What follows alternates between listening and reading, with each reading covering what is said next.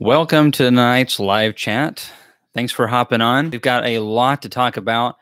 It is hot, it is humid, and this is the weirdest honey flow that I've seen this time of the year. But it seems like every year there's always something odd going on. So, is there such thing as a normal year? I think that's a valid question.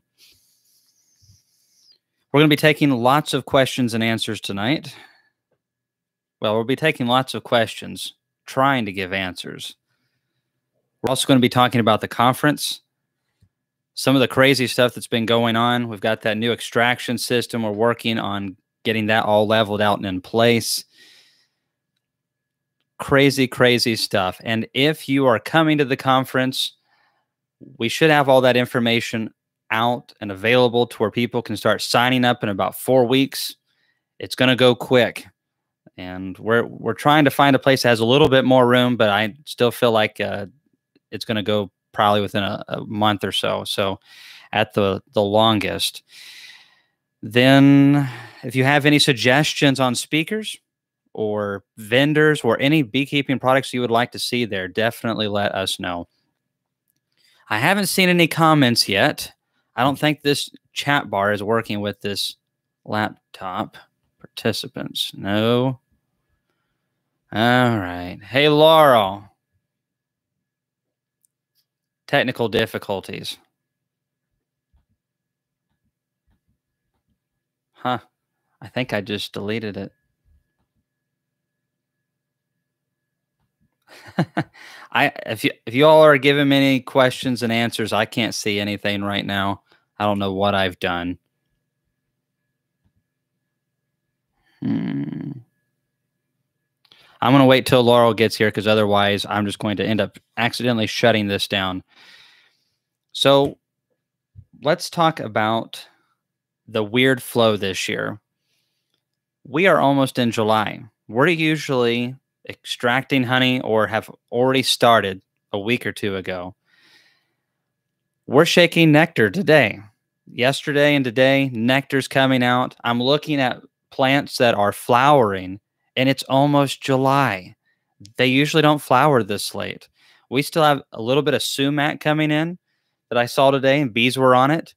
We had sourwood blooming, which we don't have a lot of sourwood around here. The elevation's not quite right, but we do have some sourwood, and it's blooming right now. So what I feel like's going on is we have multiple different things that have been backed up and are hitting some of the things that this time of the year do naturally come on, but it's kind of compounding upon one another and it's created quite a significant flow. Um, you see this, Laurel? I have no bar over here.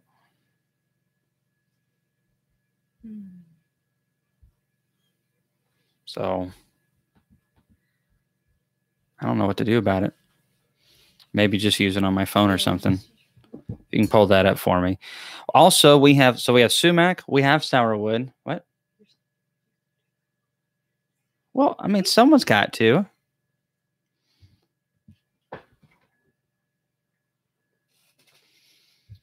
We also have white Dutch clover. We've been getting good rains, and we have sweet clover and one or two odds and ends. Oh, yes, milkweed is blooming. And this is not normal to have all of these different plants going at one time. Laurel is working diligently to get the questions to where I can see them, and then I will start taking those. But yes, this is I've never seen this before. We are concerned that some of the brood nests are going to get filled up because we don't add supers this late in the game typically. So apparently now I'm going to have to watch out for that. All right, so a lot of questions here. I have missed quite a bit. So we've got Natalie on from Beekeeping Like a Girl. Is there a temp too hot to graft in or to start the queen rearing process. It's over 100 here with low humidity and will be all summer long. Would two day old grafts work better in hot weather? I don't know about that. The main thing is when you're grafting them, I would try to keep them as, as cool as I could. So I wouldn't want them in direct sun. Also, as you're dropping them into the cup, like I showed in my last queen video, you're going to want to take a damp towel, especially where you're at. Definitely have that damp towel. And when you put them into a starter, finisher, whatever, make sure it's well vented. Whether that's a screened bottom board, whether that's an upper entrance, and it wouldn't be a bad idea to have like two lids on that hive because lids can get pretty hot, especially if it's just a migratory lid or a regular lid with metal on it. So if you have two lids or something on the top of it to kind of give it a little bit of shade, that that's handy. Oh, we got Chris Summers on here too. But I, I, think you can still raise queens that time of the year, but you definitely have to keep them cool. If when you're catching queens or any process of, of the queens, we definitely don't want them getting over a you know 100 degrees. We definitely would prefer to keep them more around room temperature um, when we actually catch the queens once we pull them in. But uh, I think you can still manage it. You're just going to have to be a little bit more careful. Definitely don't leave them out in the sun. Shadow Winds Apiary in Homestead. Hey, thanks for coming on. All right. Roll Tide. All right. All right. Roll Tide. I'm ready for football season. Can you invite Peter Cowan? Love his channel. Bee Whisperer. I have never checked his channel out, but I'll have to give it a shot. We do have some pretty cool people coming, and there's going to be more coming, especially with good suggestions like this one. Um, Frederick Dunn is planning on coming. Mr. Ed just said he's planning on coming. So if you watch his channel, the Dirt Rooster is going to be there. Ian Steppler, Bob Binnie, Rick Sutton, Greg Rogers. We are going to have multiple other people, and I'm working pretty hard on that right now, trying to get some really cool vendors and have every cool bee product that we possibly can have, even some out of out of country, if they will work with us. And I'm actually talking to Easy Loader yeah, the company that has that nice lifter that Ian uses, and they're talking about coming out as well. The cool thing is, I really think because we have one wonderful people already signing up as vendors. Now, I say signing up, it's all preliminary, but they've committed. And they're already working on deals that you just can't, you cannot anywhere else that I'm aware of get this. So we're going to have deals, on everything from frames to foundation, pollen sub, and on pre-orders from several of these companies, uh, 10% discounts. If you buy a lot of bee stuff like I do, you're probably going to be able to pay for the experience just on the savings. And you get to listen to Bob, Betty, and Ian and and see Randy and Mr. Ed probably burn the place down. So it's, it's going to be quite a bit of fun. All right. So I am scrolling through here and Speaker suggestions would be great to have Mel that speaks on on the spot queen rearing and Miticide free beekeeping at your conference. Well, we've already got our speakers pretty much lined up, but it is good to hear these kind of things now because we are working currently on the 2023 speakers. I have a really aggressive hive and a downright it's a downright mean colony. They are producing well, but I'm going to requeen next week when I have a queen ready. If that doesn't help, what can I do? Execute. Well, it should work as long as you have a queen that does not have aggressive behavior that you're introducing, and she goes in and actually takes over. It's going to take a while, though.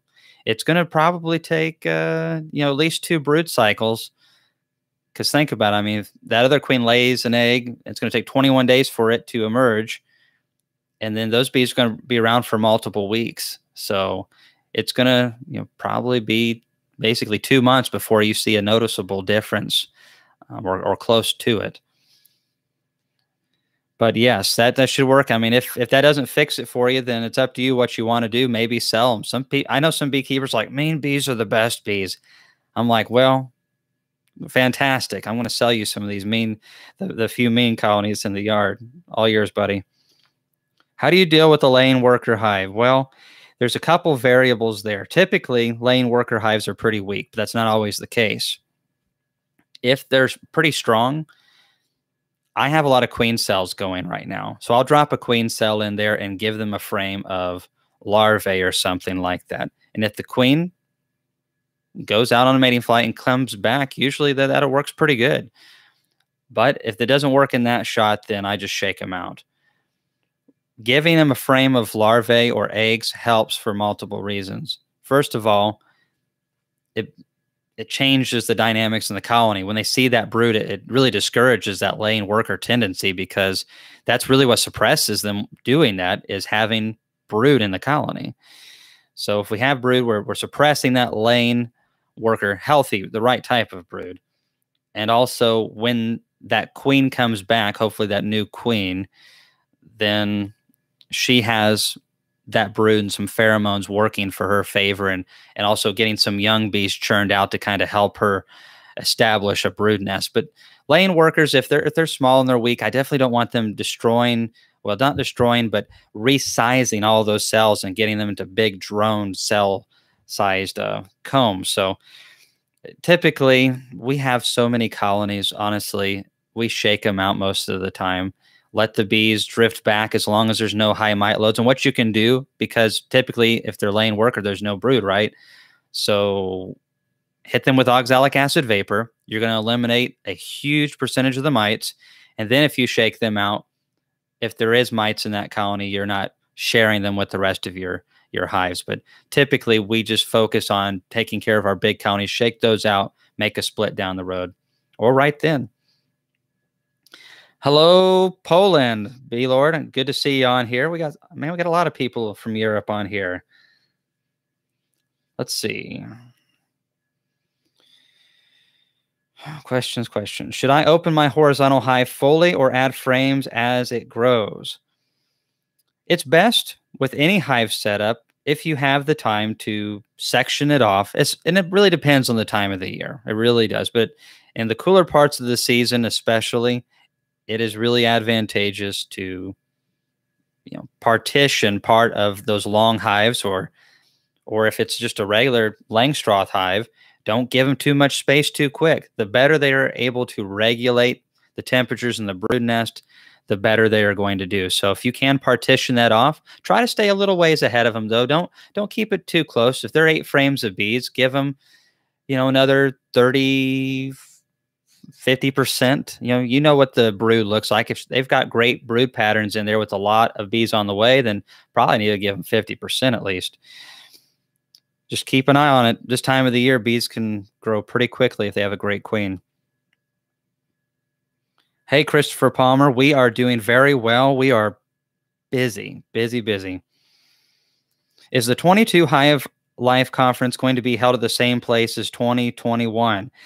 Actually, I spent all day Monday of last week looking at a couple other options, and primarily because, as many of you experienced last year, we, we were at half capacity due to restrictions, but we really liked the setup. We had round tables, it spaced people out, and also if we would have stuck full capacity in that room, it would have been sardines in there.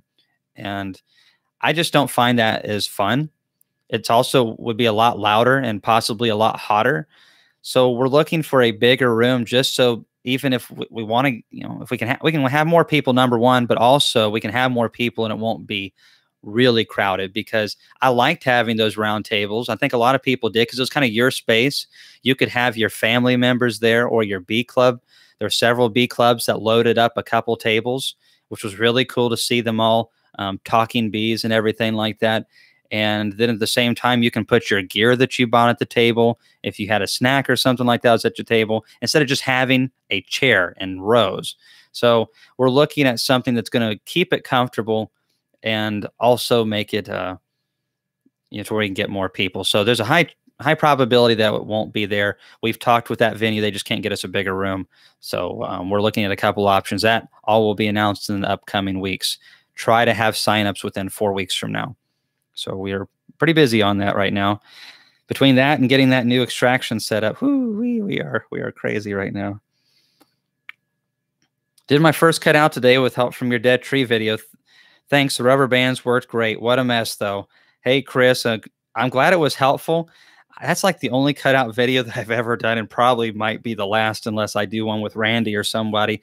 I really am not a great cutout person. One because I I do not enjoy doing them at all. Um, we really enjoy just making our own splits. But the hive was it was so rotten, and they'd already cut the tree down. Because if someone would have been, hey, there's a swarm or a hive in that tree, do you want to cut the tree down and get out? Or just let left them to their own devices. But since they'd already dropped it, and it was, I think it was in March, early March, it was a cold time of the year, and it was exposed to rain. Um, you know, we we saved the bees, and those that that hive has. I've got at least two hives off of that original by now. The original queen's gone, but her offspring are still kicking butt, making honey this year. Used my Hillco honey extractor today for the first time. Worked great. Well, I, I have one to test this year. Thanks for your feedback, Joseph. I'm really interested to see how they work. They sound really quiet. Is, is yours pretty quiet, Joseph? All right, with the mean hive split down, if you were in California with the mean hive, split it down to one to two, three frames and keep her in a larger pushing cage and open and close. Okay, so someone just giving a suggestion there. Hmm. This is our first year harvesting sizable amounts of honey. Can spun supers be out back on hives afterwards? How and when do you store supers?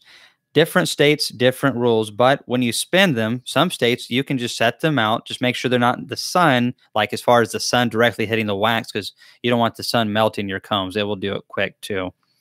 So, you know, I preferably give them some shade, but the bees can feed them out in some states. In states like Tennessee, it's illegal to do that.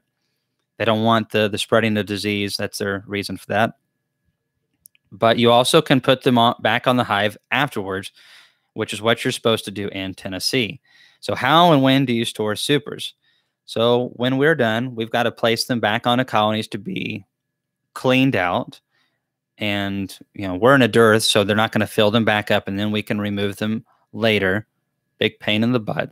And then we store them just as they are about eight frames to a 10 frame box though. Space them out. Ventilation. Main thing we don't want mice to get in there but wax moths as long as there's no bee bread in them or anything else they uh, they'll store just fine. Have you had problems with the virgin queen and the honey supers when you switch them back into a single hive? Um, occasionally I'll have some issues. So when I was going through like the video I had this morning, one of those hives has two queens in a virgin was created at some point. You sometimes we have hives that have two queens in them. And there was a queen laying below the excluder and a new queen laying above the excluder. And man, you want to talk about a massive colony. You also want to talk about a pain in the butt because she was laying three honey supers. And so that's never fun. However, the colony is going to make probably 120, 130 pounds of honey. So I'm not really complaining, but um, it is it happens and virgins will slide through excluders a whole lot more. Sometimes even mated queens will slide through excluders especially if they're bent or something. All right. Thanks for the good feedback everybody. I really appreciate it. Hi Kamon. Been a great honey season here in kentucky. Glad to hear it's been exceptional for you all too. It has been a while it's just been crazy. I've never seen a year like this. I mean we're shaking nectar frames out and it's almost july I've never seen that. It's crazy. I've never seen sweet clover blooming at the same time of milkweed and sourwood. It's all blooming at the same time. And white Dutch is doing well because of some of the frequent rains that we're getting. And we have a few other, you know, a little bit of sumac still blooming, which is surprising. I was looking at some today. So yeah, just in beekeeping, expect the unexpected. I've I have I, am sure I don't have two years that are exactly alike, but this year this is really throwing me for a loop. But I'm very thankful for the honey that we've made this year. Let's see here. Hey, Kamon, I just saw that you will be the guest speaker for my local club in Greene County, Ohio. Yes, that's going to be the 6th of July, and that's going to be a Zoom meeting. So that, I'm looking forward to that. And we're actually going to talk about winter prep. And I was just at a bee club in Tennessee. Um, there, it was a nice little uh, gathering. There's like 40 odd, 50 people, something like that. And it was great. And we talked about summer beekeeping and really how that translates into winter beekeeping as well. Hey, Yasmin, I hope that you're doing good over there in Sweden. I've been seeing some of your uh, little videos and your pictures on your grafting and splits. I also really like how you're wax dipping your equipment. It's not maybe the easiest way to do it, but Yasmin, for those of you who didn't know that you could do this, she's got herself a system where she can only do one side of the box at a time. She can do multiple boxes on one side. And so she cooks them for a little while and flips them over. and it takes a little bit longer, but she's making it work with the the tools that she has, and uh, I'm anxious to see how um, how those boxes do for her do for her. So that's it's really a creative way to get wax dipping done and, and do it very cost effective. Do you have an opinion on a bee yard seed, seed mix from Mann Lake? I, I've never purchased any seeds from Mann Lake. Um, personally, I like to get it from my local co-ops because one, I like to support them more, like a hundred times more, and uh, then on top of that, I think I get better pricing. So I'm, I'm confident I do actually. So sweet clover is great. Um, crimson clover, we do that. My dad planted buckwheat and it is looking really good, just starting to bloom at one of our bee yards. I'm going to have a little video on that, I'm sure. But, uh, you know, I don't know what all they have in their mixes.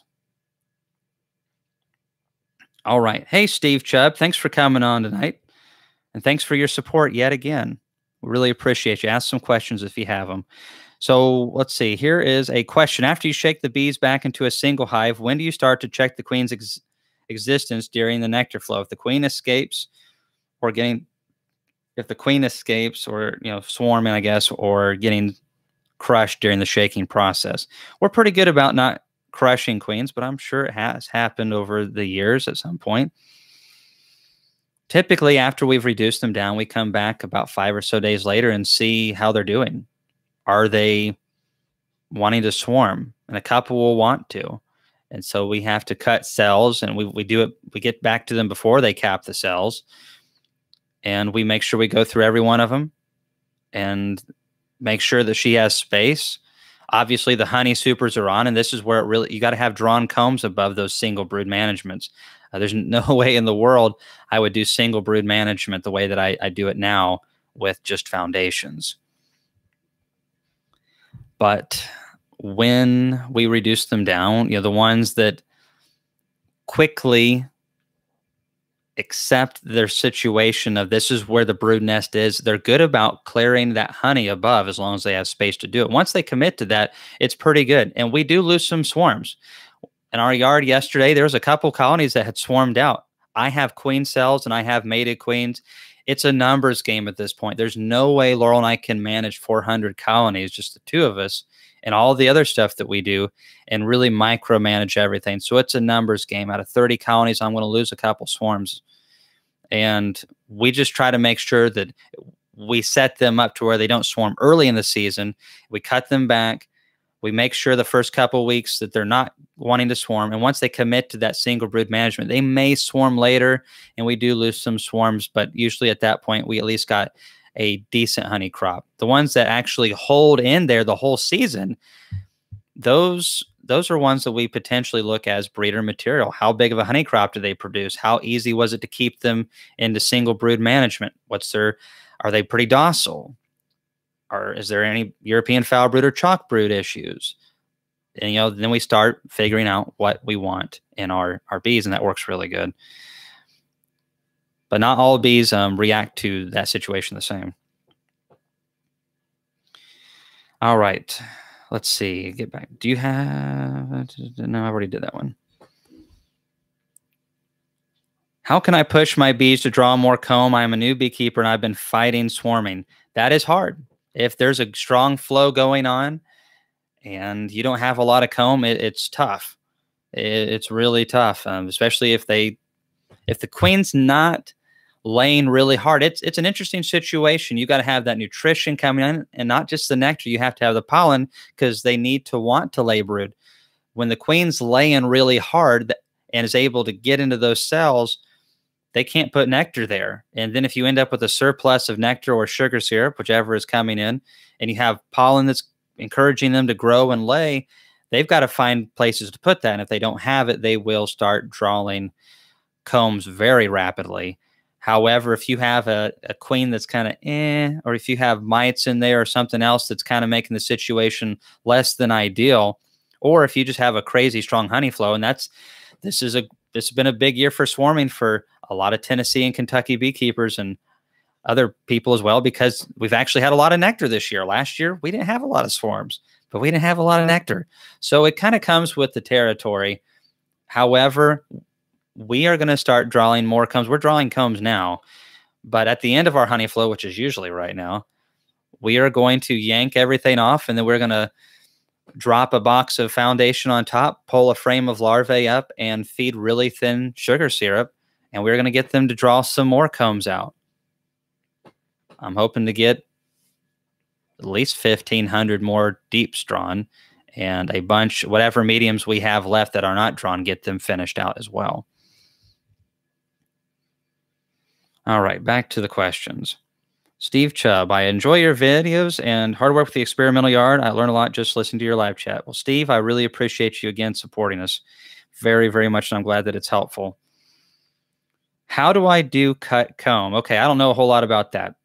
Um, obviously, they have some thin foundations that you can use for that. Some people just use a starter strip, and that's where shallow frames became very popular for a long time. And you don't see them used very much, but shallow frames are more ideal for cut comb one of my buddies who's down in Memphis does a lot of comb hunting. He's actually going to do some educational stuff here in the future. He already does a little bit, but he's going to do a little bit more. I might do some with him. And he's he's very experienced in plant foliage for bees and pollinators and also um, comb honey. Sells a good bit each year and is expanding that operation. I think it's fantastic. Comb honey is truly the prime way to eat honey. It's it's all good but if you're wanting the best, I, I personally think comb honey is the most prime way to eat honey. Kamon, at the conference, you, Bob, and Kent talked about making nucs for replacement for winter loss. Can we start nucs at the end of July? I live in West Virginia. Ooh, I don't really know West Virginia that well. If you make them strong, I'll bet you can. I'm sure you can. However, if you could make them maybe slightly earlier than that, if possible, it'd be better. But yeah, I'm sure you could you could get away with it in July. Just don't make them little tiny things. Honestly, if you have a strong double deeps, why not just break the things right in half? Just uh, basically split the brood up, split the bees up, have a queen in each one. If you have 10 hives, now you have 20. And that, that works really good, but maybe you're wanting to split a little more aggressively than that. But um, yeah, I, I, I'm at I don't really like doing too late a split. So I don't know what West Virginia is like that much. Here in Northern Tennessee, I have made splits as late as the first and second week of September. And they they don't give me a really high rate of success. I will have some of them over winter, but not what I'm used to with the rest of them. I, I usually think that uh, anything past early August for me will it can work, but it's definitely not going to do near as well as anything I do prior to that. So we're fixing to do a lot of splitting here over the next 40 days, quite a bit of splitting. But we're going to be selling actually a lot of bees off. So if anyone's needing any singles, I'll be announcing that down the road, probably in the next three weeks when they're available. But they're going to be our Queens 2021 and single deep honey boxes or not honey boxes, but brood chambers, whatever. All right. Feral swarm in Dandridge, Tennessee. Make some good honey over there. First time beekeeper at 61. Well, hey, uh, some of my favorite beekeepers are that age. So, and you're, you're, doing good catching swarms. They built out four and a half frames, an eight frame deep box. When would you consider adding a deep or a medium box? All right. So you're in an eight frame box. Once they start about six frames drawn, um, especially since we're so warm now, go ahead and put on a second. I would add a brood box myself and pull up a frame of larvae and make sure that you position that larvae above the rest of the brood. Don't have the brood in the bottom box over here and then put the larvae frame up here in the next box. You want that heat to come up there and keep them warm. And that way that's going to encourage them to draw that it would be right now what you need to do is is get comb and swarms are usually pretty good at doing it so once they get about six frames drawn out i would pull one of them up and then when you come back later maybe a few weeks and they've drawn out several up top you may decide that the ones that are down below that they maybe didn't draw all the rest of the way out you pull them up to the top drop some brood frames down below and and eventually over time you're going to get those all drawn. Once those are drawn then maybe add a medium as well. You might have to feed at some point. first dawn are the live chats recorded and available for later listening Yes, they are. This one will should be available shortly after it is finished. Sometimes it takes YouTube a little bit of time. Hey, Jeff Upton. I hope things are good, going good for you down there in Arkansas.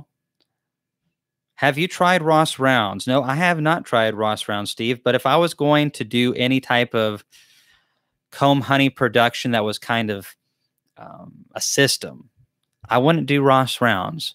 I would do the Hogg half comb. That's just from people that I've talked to. This is not off of experience. This is just people that I talked to that have experience. And also, I think what I would prefer to use and sell what makes sense to me. The Hogg half comb would be better. I think it's the basswood sections. I think they're still basswood, but it's wood sections and they're square, but you, they still have cassettes. So when you, you pull them out, they're gorgeous. And it's, it's kind of like instead of getting rounds, you get the squares.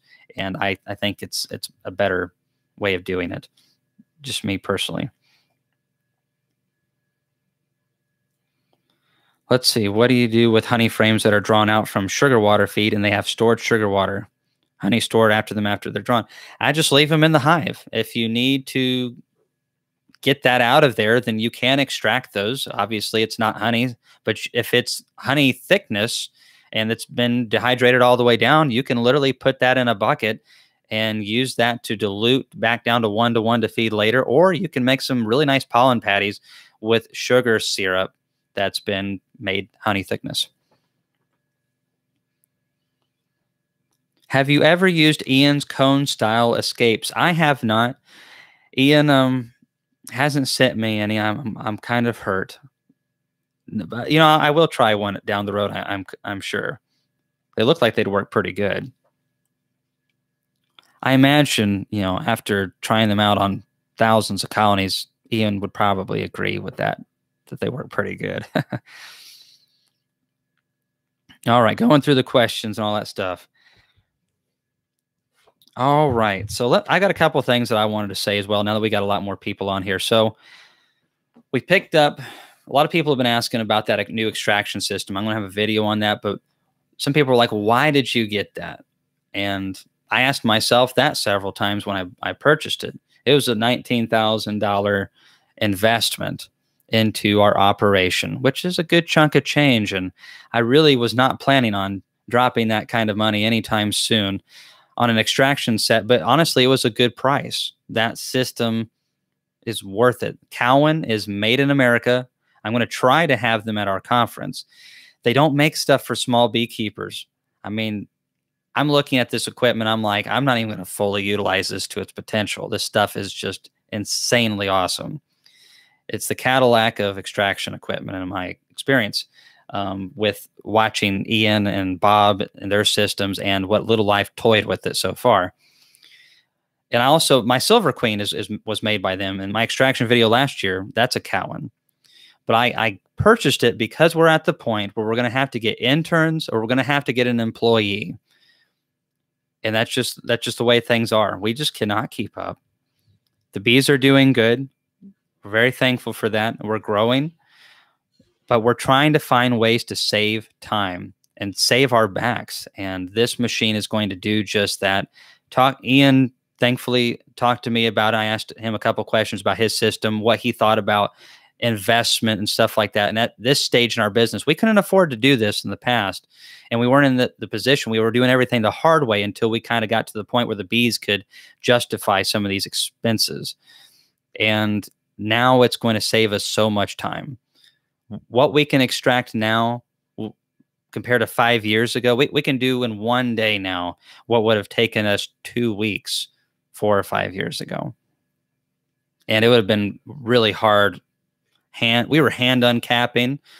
We were doing everything slow in the old fashioned way. But once we started really getting things going well with the bees things have just kept multiplying. And I think that's something that you all are going to experience if you stick with it. When you really go with the great queens, dead mites, and good nutrition as as your base, and then you figure out some things like swarm, and you get some combs, and you get all these things to click. We have too many bees.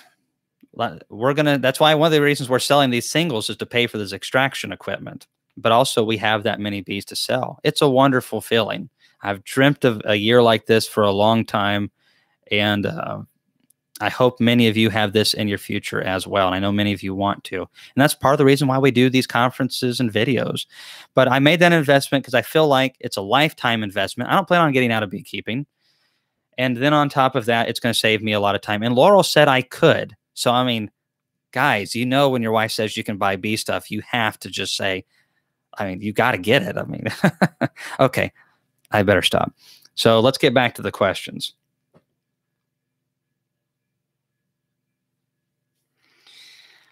How many pounds of honey do you expect per hive? Well,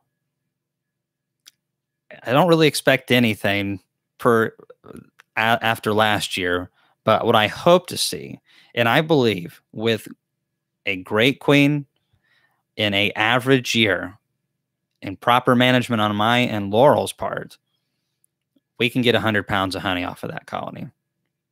On a good year, we can we can push upwards to 140. My record is like 142. But when you average it over the yard, because there are some colonies that swarm, there are some colonies that have some queens that, you know, supersede, you know, at the worst time of the year that they could, but you know, they just do run out of gas at the wrong time. And so when you average it out, I like to see 100 pound averages throughout the yard. And for Tennessee, we will take it, let me tell you.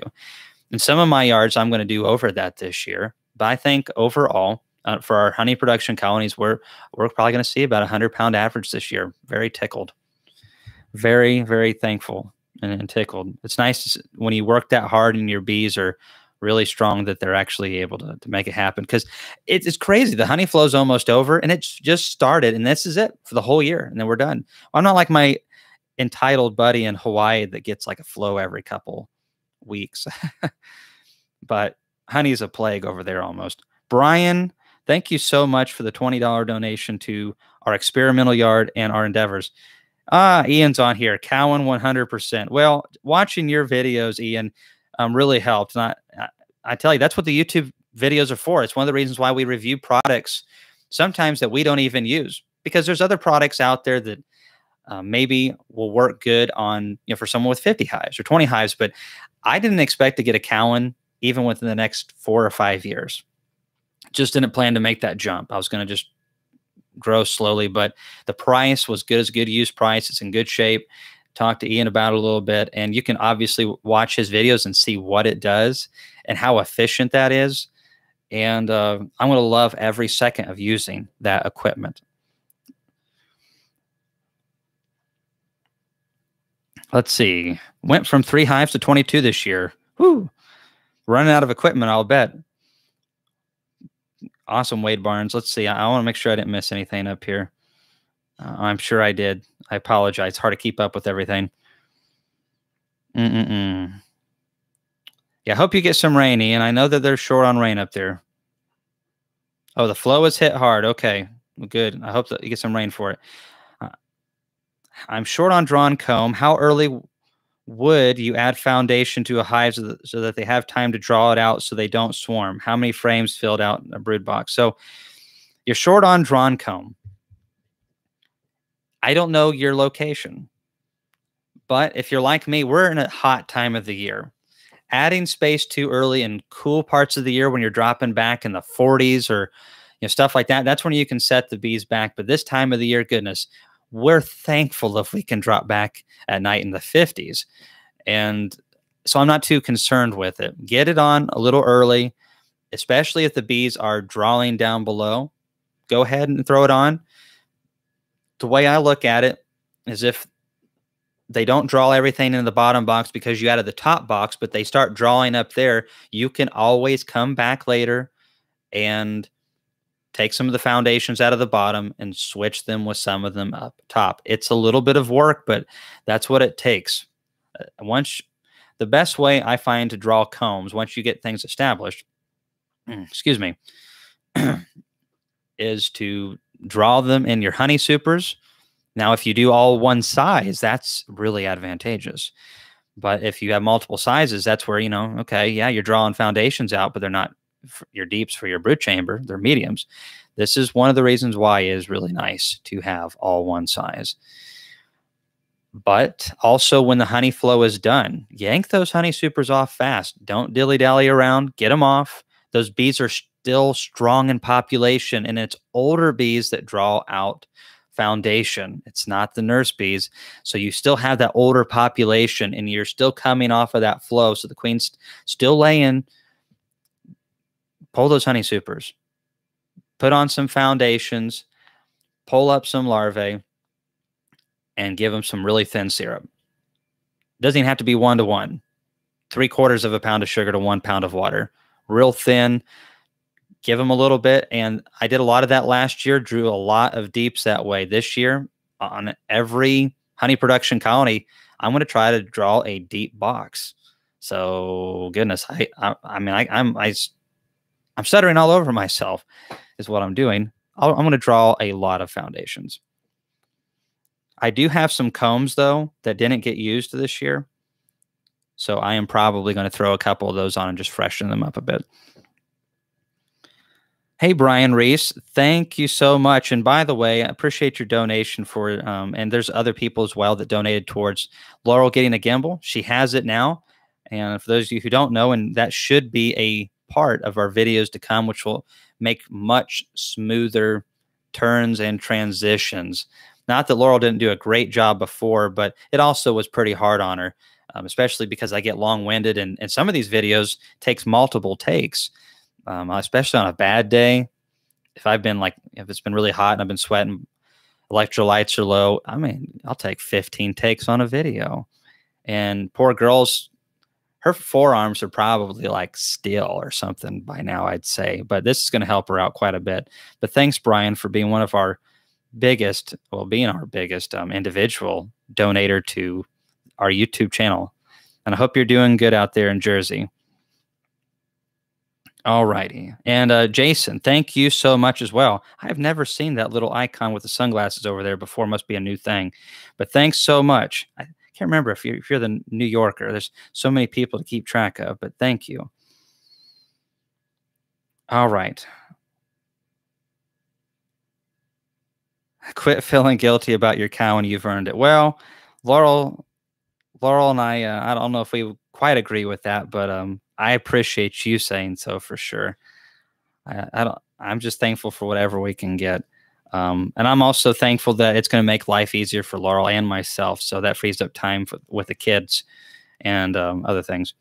If anybody's thinking about doing it, don't just pick up some lever next day or two. Okay, okay. I don't know what that was, but uh, so too much of that. So one of the things that I've also mentioned, I want to get back to the questions in here in just a second.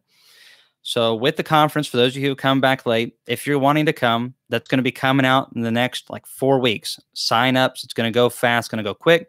As long as nothing crazy changes, we're planning on having full capacity regular capacity. So we'll be able to get more people in, but we were having to turn some people away last year. And I imagine it's going to just be more because I have people asking every day. So make sure when that becomes available, it'll be announced here on YouTube and also on Facebook that you are ready for that. And I want to know who or what product you want to see there. We want to have them there. We're already working very hard to get the best deals. This is going to be really the best place to buy equipment. So plan if you're coming, plan on just bringing a something to haul some stuff away. Because if you're going to buy it anyways, you might as well get a, a discount on it. It's going to be a, it's going to be good. It's going to be really good. I, I and uh, last people, last people, last year, people, some of them paid for their conference just in the savings. So you got to listen to Bob Binnie last year, Kent Williams, and Ian virtually this year. Hopefully, it won't be virtually unless the Canadians uh, keep freaking out up there. Uh, as I say that, I'm sorry, Ian, and uh, any other Canadians. And uh, you know, any, anyways, huh? If you want to see something there or somebody there, and it doesn't necessarily have to be a speaker; it could be a person of interest. Frederick Dunn, we've got him. The Dirt Rooster's going to be there. He's going to bring Mr. Ed. I've got a couple other YouTubers I'm talking to right now. And uh, if you can think of anybody like that, um, we will try to also keep in mind we're looking for people for 2023. So let us know now so we can work on it.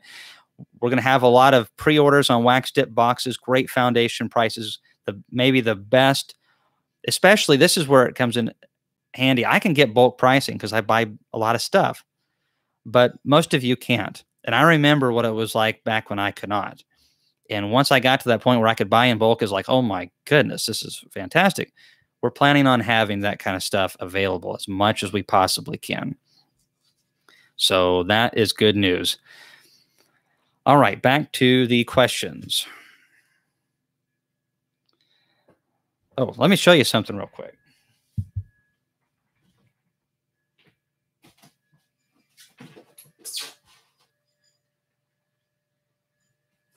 This is what we have been working on all the last week. I got a bunch of queens in our incubator here in this room and uh, got a nice bunch of them right here.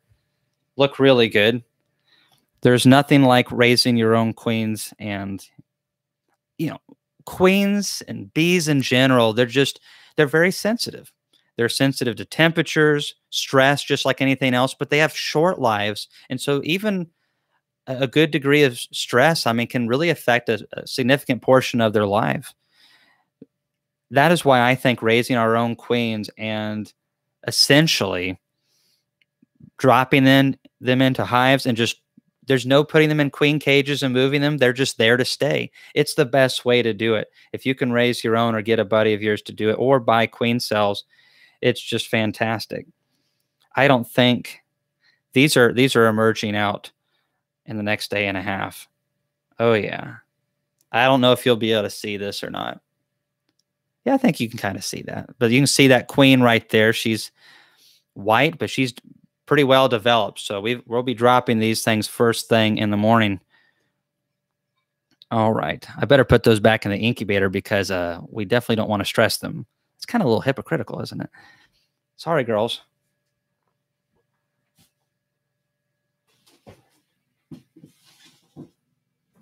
All right, I'm back. Let's get to the questions. Hey, Laurel. All right, so tell us about your Cowan. So I'm going to have a video on it, but if you've watched Bob's extraction videos or Ian's, it is similar to that. I don't quite have all the bells and whistles that they do, but Cowan is made in the USA. And I mean, it's made like things were made back in the day. This stuff is so solid. It's also made, it's almost complicated. It's so simple. They make things that can be worked on and can be fixed and that don't become obsolete. There are beekeepers who are liter literally finding some of their machines from the early 80s and late 70s and sending them to them and they just have to mess around with it a little bit. They'll update it, make it a little bit nicer and bam, it's a workable machine again. Or if it's not really needing much updates at all, then they'll just you can get the parts from them and literally have it working. It's a a wonderful system, and Cowan just you can just tell that they are really good at what they're doing. I wish so bad. I know they don't probably want to get into this market, but if they could produce something for the sideliner beekeeper, the smaller beekeeper, I would love to to help them out with my YouTube channel just because their products are exactly what every person wants to use. So well made, so tough. Lifetime investment. Brian Reese. All right, 12 deeps and 12 dipped mediums. All right, all right, all right. I got it. Let's see here. New to grafting, grafted 10 queens, seven accepted and successfully mated. All are laying well, but the queens are very small. Any thoughts? And is that a big deal? Well, if they don't have a lot of room to lay, let's say they're in a, you know, maybe a two frame colony, sometimes uh, they don't, they just, they have to slow back laying production so much they don't swell up quite as much. That could be a small part of it, but also some of it good could be um, part of the process? Did you graft young enough larvae? Were if were they a little bit too old? I don't know, but the most important thing I've seen some smaller queens that laid wonderful patterns. I've seen some giant behemoth queens that weren't worth a nickel. They were they cost me money keeping them in the hives. So ultimately, what are those brood patterns looking like and, and how are they doing for you? But congratulations on raising some queens. That is awesome. And it's just going to get better for you. All right. Uh, did I miss anything? Let's see. Let's see. Wow. A lot of questions. Sorry if I missed yours. Um, feel free to keep going. Hey, John Hatch. Hope things are going good for you up there in the northern part of the country. You guys have had some crazy weather.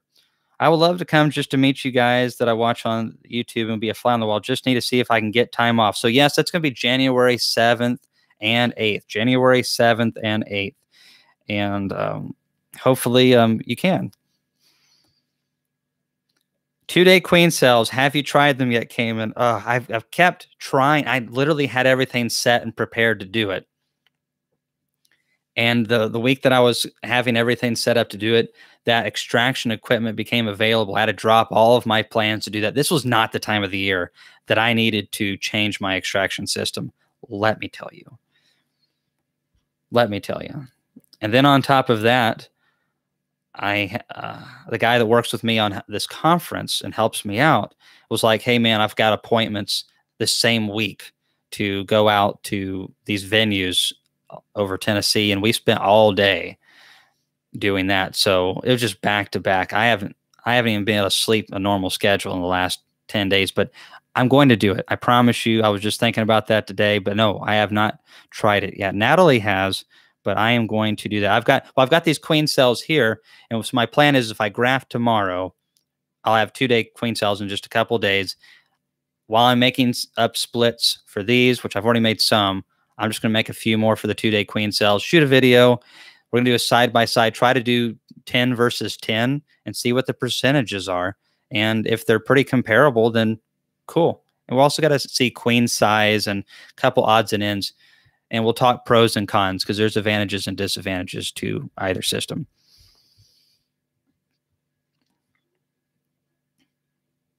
Let's see here.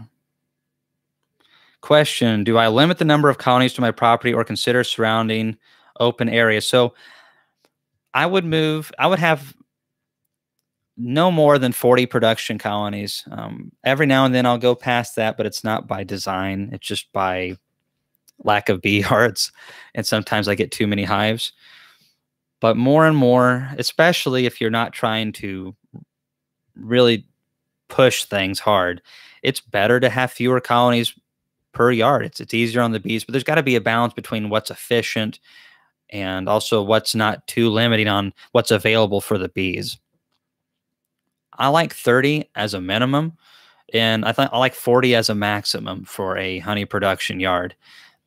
Then if you are going past that, and of course there's there's variables. I mean, you might be in an area that could do twice that much. I mean, my buddy in Hawaii, his honey production yards are way bigger, but you know, goodness, it's Hawaii for Pete's sake. And uh, in some areas, maybe 20 is as many as you'd want to do in one location like up here at my house, I took all the honey production colonies almost completely out of here. I think that's part of the reason why the colonies that did get left behind that were medium sized did so good because there wasn't many of them and they didn't have any competition from any bigger colonies. And it was a good year to boot. That always helps.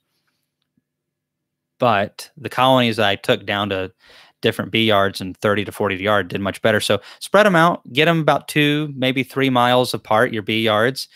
Find a farmer, give them a case of pints every year. That's usually what I do. And man, they are they just think I'm the I'm doing them such a big favor.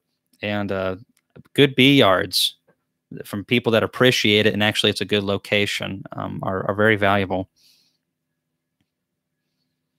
How much bee bread per frame of bees slash brood should they have? I don't really know what the exact ratio for that should be. For a double deep, though, I definitely would want to see um, a minimum of two, the equivalent of a collective amount of two full frames of bee bread. That doesn't mean it's all going to be in two frames. It'll be spread out, but um, it'd be nice to see more than that too, especially if you have a dearth. But if you start getting too many frames of bee bread, you might want to yank some out, give them some space. Dennis asks, "Do you clip your queen's wings?" I've never done that before, and I, I don't think uh, I ever am am ever going to start. How do you deal with a hot hive of aggressive bees when you can't find the queen? Ah, that is tricky. Well, so let's say you're in a double deep or triple deep or whatever. Put some excluders in there and take half of the brood and stick it above the excluder, half the brood and stick it below. You've separated it out. And then when you come back five or six, seven days later, all the eggs and young stuff should be down in the bottom box or the second deep box or whatever. And now you at least know which area she's in. Maybe you can find her then, but even if you don't want to find her, then the box that doesn't have the queen but still has brood because you split it in half, you can make a split with that and put a queen in there and a more docile queen. And that doesn't get rid of your other queen though. But you know that's where you find some of those beekeepers that like to get stung a lot and say that they do, and you just sell it to them for a premium because you know they, they should pay that much for a, a nice hive. Um, but uh, you know, I, I, don't know if you can't find the queen, that it kind of leaves you in a tough spot you could drop a queen cell in there. And sometimes if you drop a queen cell in there with a cell protector, like the ones I just had, the virgin will hatch out and she will go and find that mated queen and hunt her down and eliminate her, which is pretty normal for a virgin to do. Does not always work, but sometimes it does. David Smith, thank you for your donation. Um, I really, again, don't know the ratio of that. Um, I meant to say thank you for the donation a second ago. I just kind of got caught up into things. But my buddy in Hawaii, they have bee bread problems over there. So it really depends on where you're at. Bee bread is really important during our summer dearth. This year probably isn't going to be that bad of a dearth period because we're still bringing a little bit of pollen in and have nectar. Very odd year for sure. And uh, hopefully we'll get enough rain. The fall flow will be good. So this will be a very easy and gentle year on the bees. And this is the type of year where it's easy for bees in the wild or in our boxes to just thrive and reproduce well. Last year was not. So, you know, just uh, as beekeepers, we just kind of got to take it as it comes. Steve Chubb, wow. Thanks, man. I really appreciate that. You got you got to see if you can get off of work though and save some of this money for the conference, man. I promise you. That's the cool thing about this conference. I think everyone can save the money on the equipment, but also the the information that you're going to be able to get. And it was cool to see people last year just be able to personally talk to Bob Binnie because he's a really nice guy. We try to find speakers that are great beekeepers, good speakers for sure, and also really personable. So when they're off the stage, they don't care if you have two hives, they're more than happy to talk to you. And uh, so I think it's it's worth uh, everything that, uh, that that you have to do to get there. The farmers that let you put your apiary on their land. Oh yeah, farmers are great. Um, maybe not all farmers. If you don't want to put bees on someone's land that's growing a, a crop that gets sprayed with pesticide, yeah, if there's a little bit of herbicide, you'd probably be okay. But uh, yeah, you just have to. Around here, we don't have a lot of agriculture, but yeah, farmers are great. The reason I say farmers is for multiple reasons. First of all, they're used to getting hurt. They are. I mean, farmers, they smash their fingers all the time. They get splinters. Equipment messes up. Things, you know, it's hot and sweaty. They're they're around tougher conditions typically. Okay. And so if I put my bees on their place and on the off chance they get stung, they, which has happened at one yard, and the, usually, usually he calls me like, "Hey, Kamon, your bee, you got a hive or two over there that's getting a little ill. You, you need to tell them bees to settle on down." And that's the worst I get out of it. You can't beat that kind of treatment. Not, I'm not all farmers are like that. I mean, these are like old school type farmers. They're great. and they love honey and they appreciate it too. Nevada, all right, all right. Fogger for mite treatment. Yeah, I don't, I don't, I don't know about that. I think uh, I think you'd be better skipping uh, the fogger as well. Um, the oxalic acid vaporizers have limitations, and the foggers I don't even think work near as good. Why don't people use marshmallows to slow release queens? I think it was a thing before. Well, because there's too many variables. One, there's different brands of marshmallows. So some of them they might chew through too fast. I'm not one of those guys that wants that queen out of the cage right away. I don't poke holes in my queen candy. I don't do any of that stuff. I put her down in there and it's with queen candy and I use two pounds of powdered sugar to one pound of my own personal honey. Now, when I sell them, I don't use my own personal honey because that's a good way to spread possibly disease or something. So then we use ProSweet or sugar syrup, um, some thick syrup that's honey thickness, but does not have any potential of um, honey borne pathogens. But two, two pounds of powdered sugar, Domino brand works really good.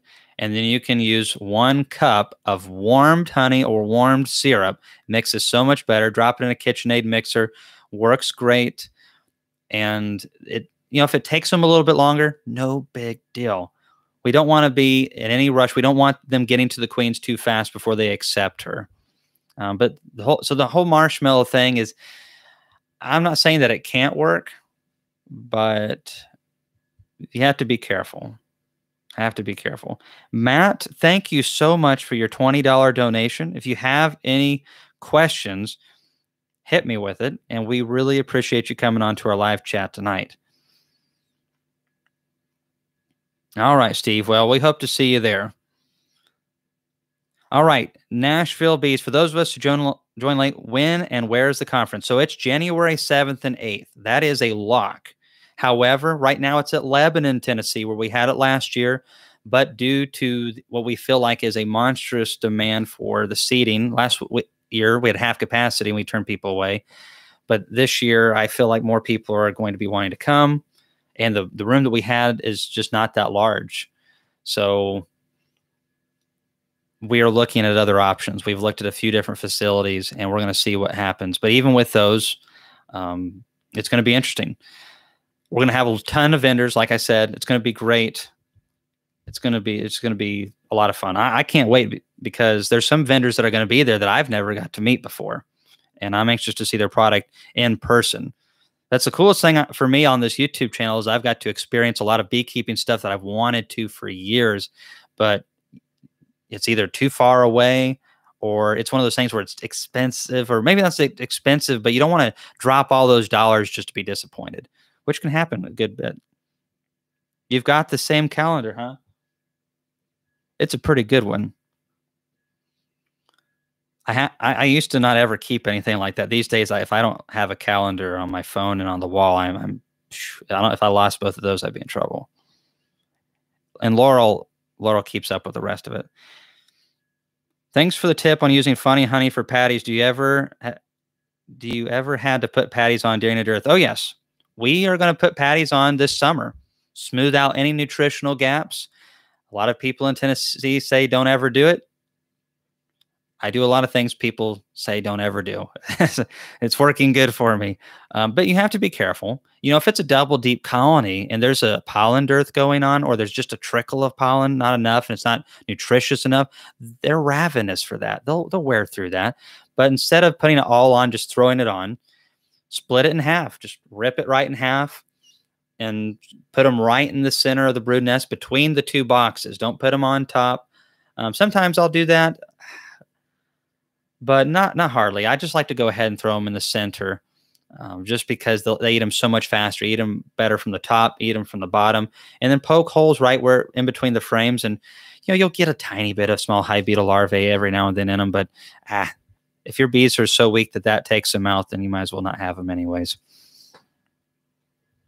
All right, Nashville bees. I think that you'll really like it. I look forward to seeing you info on the lodging. So we are working at that, um, working on that. We're going to have multiple places like we did last year, and we did have group rates. So last year's prices were really nice. This year, depending on where we go, um, will vary. We were thinking about doing it in Nashville, and then we looked at how much it cost to even stay at night at a hotel in Nashville, and we said, uh uh And who wants to fool with that Nashville traffic, right? Um, but seriously, we're actually looking at multiple places. One of them is over towards uh, Sevierville slash Gatlinburg area, and a couple other places. And some of the hotels over there are very reasonable, but some of the nicer ones, like one of them I was looking at, has an indoor water park, which I know all of you beekeepers are really into those water parks in January, uh, but seriously, yeah, those some of the, some of them are very expensive over that way. But we're going to make sure that we we do the best we can to keep this very cost effective. The goal is to. I'd love to see people break even on this, where they save so much money that they uh, they they pay for their trip and and the savings on stuff they would have just got anyways. Do you use formic acid in your hive management? I don't, Steve Chubb, but we are using it in the experimental yard. So I hope to learn a lot from that this year and see if it should be. I do know some beekeepers that use it here in Tennessee who are very successful.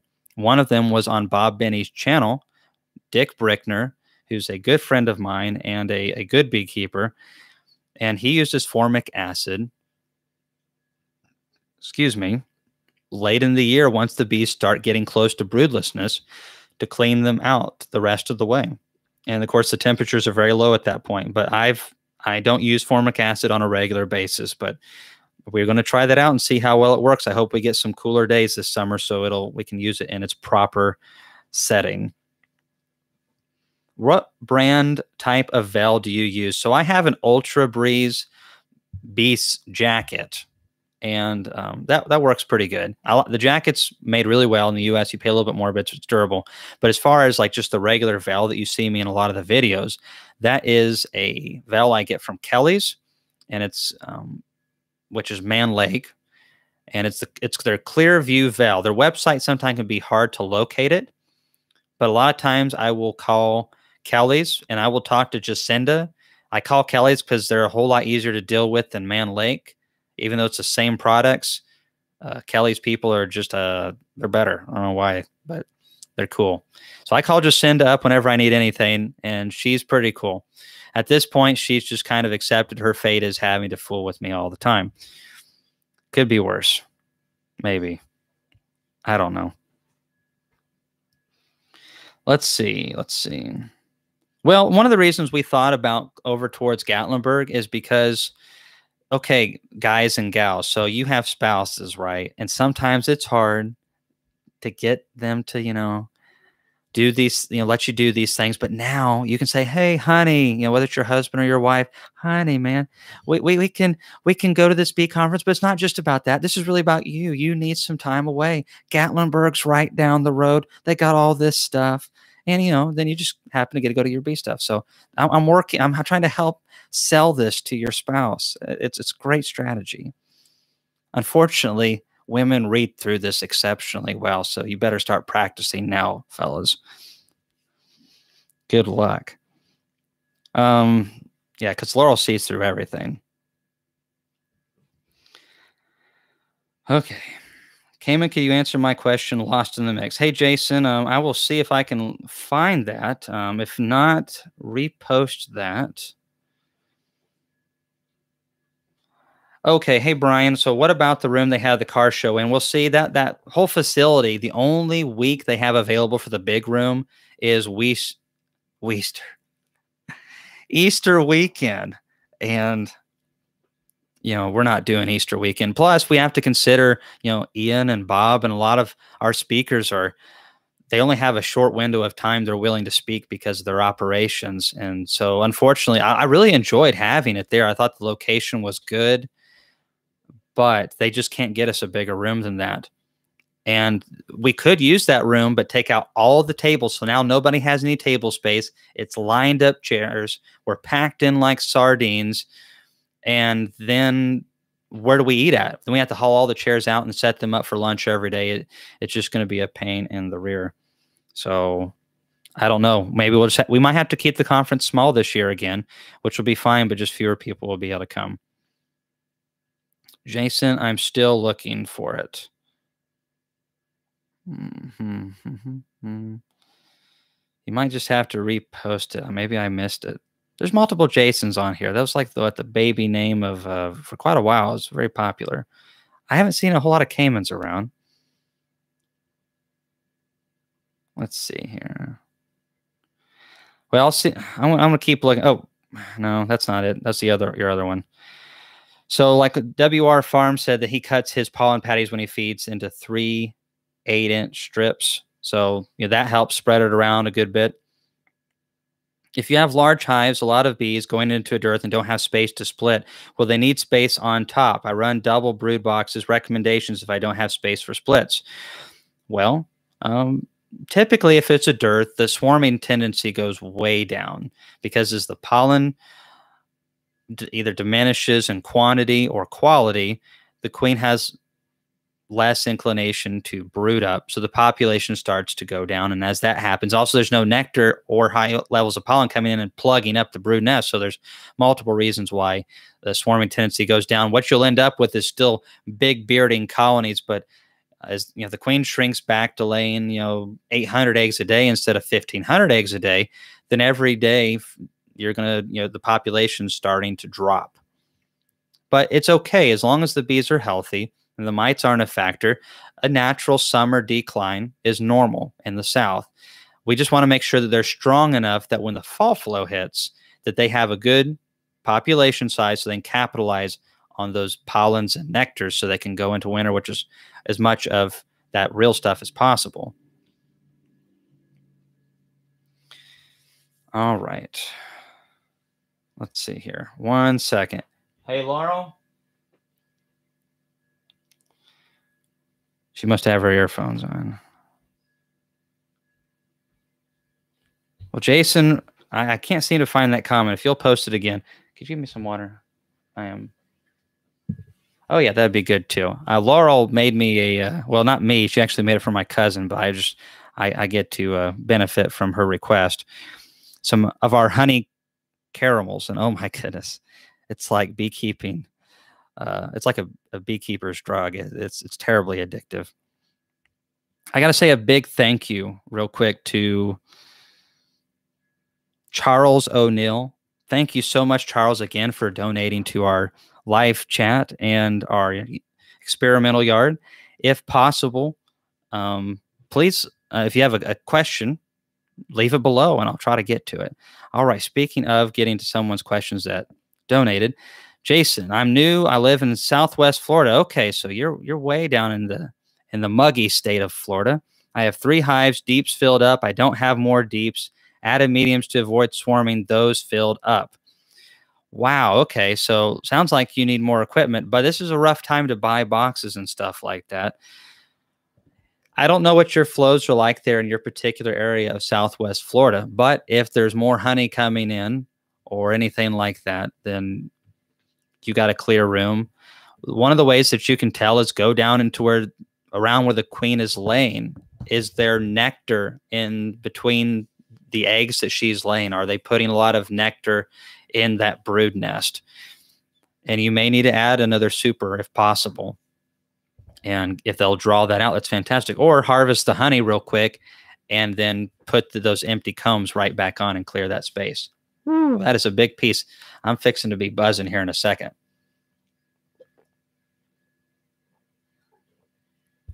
What? I know that was spring water, Tennessee spring water. This is what I'm going to be buzzing from. I, I'm not going to pull an Ian on you or anything like that. I hope Ian's watching this. But yeah, this is honey caramel right here, sweetened with delicious honey. Mm, so good. Only sugar in it. Right, of course. Why would you take honey and mix it with sugar? Okay, now that I'm going to sound like a buffoon. Thanks, Blanchard Bees, again for smashing that like button. All right. Okay, Jason Rugio. Three deeps arrived in the mail. Can I add a deep as the honey super? I'm not concerned with honey. I'd rather build the colonies. Absolutely. Absolutely. Just um eat throw um if if you're running no excluders, and so all your broods in already in the second deep or whatever, um, get a frame of larvae up into those foundations. It makes them much more prone to start drawing foundation up there because they just they they want to build around that brood because larvae bring that larvae up because larvae need resources. If you bring up capped brood, you can use eggs too because there'll be larvae shortly. But if you have capped brood, they don't need anything.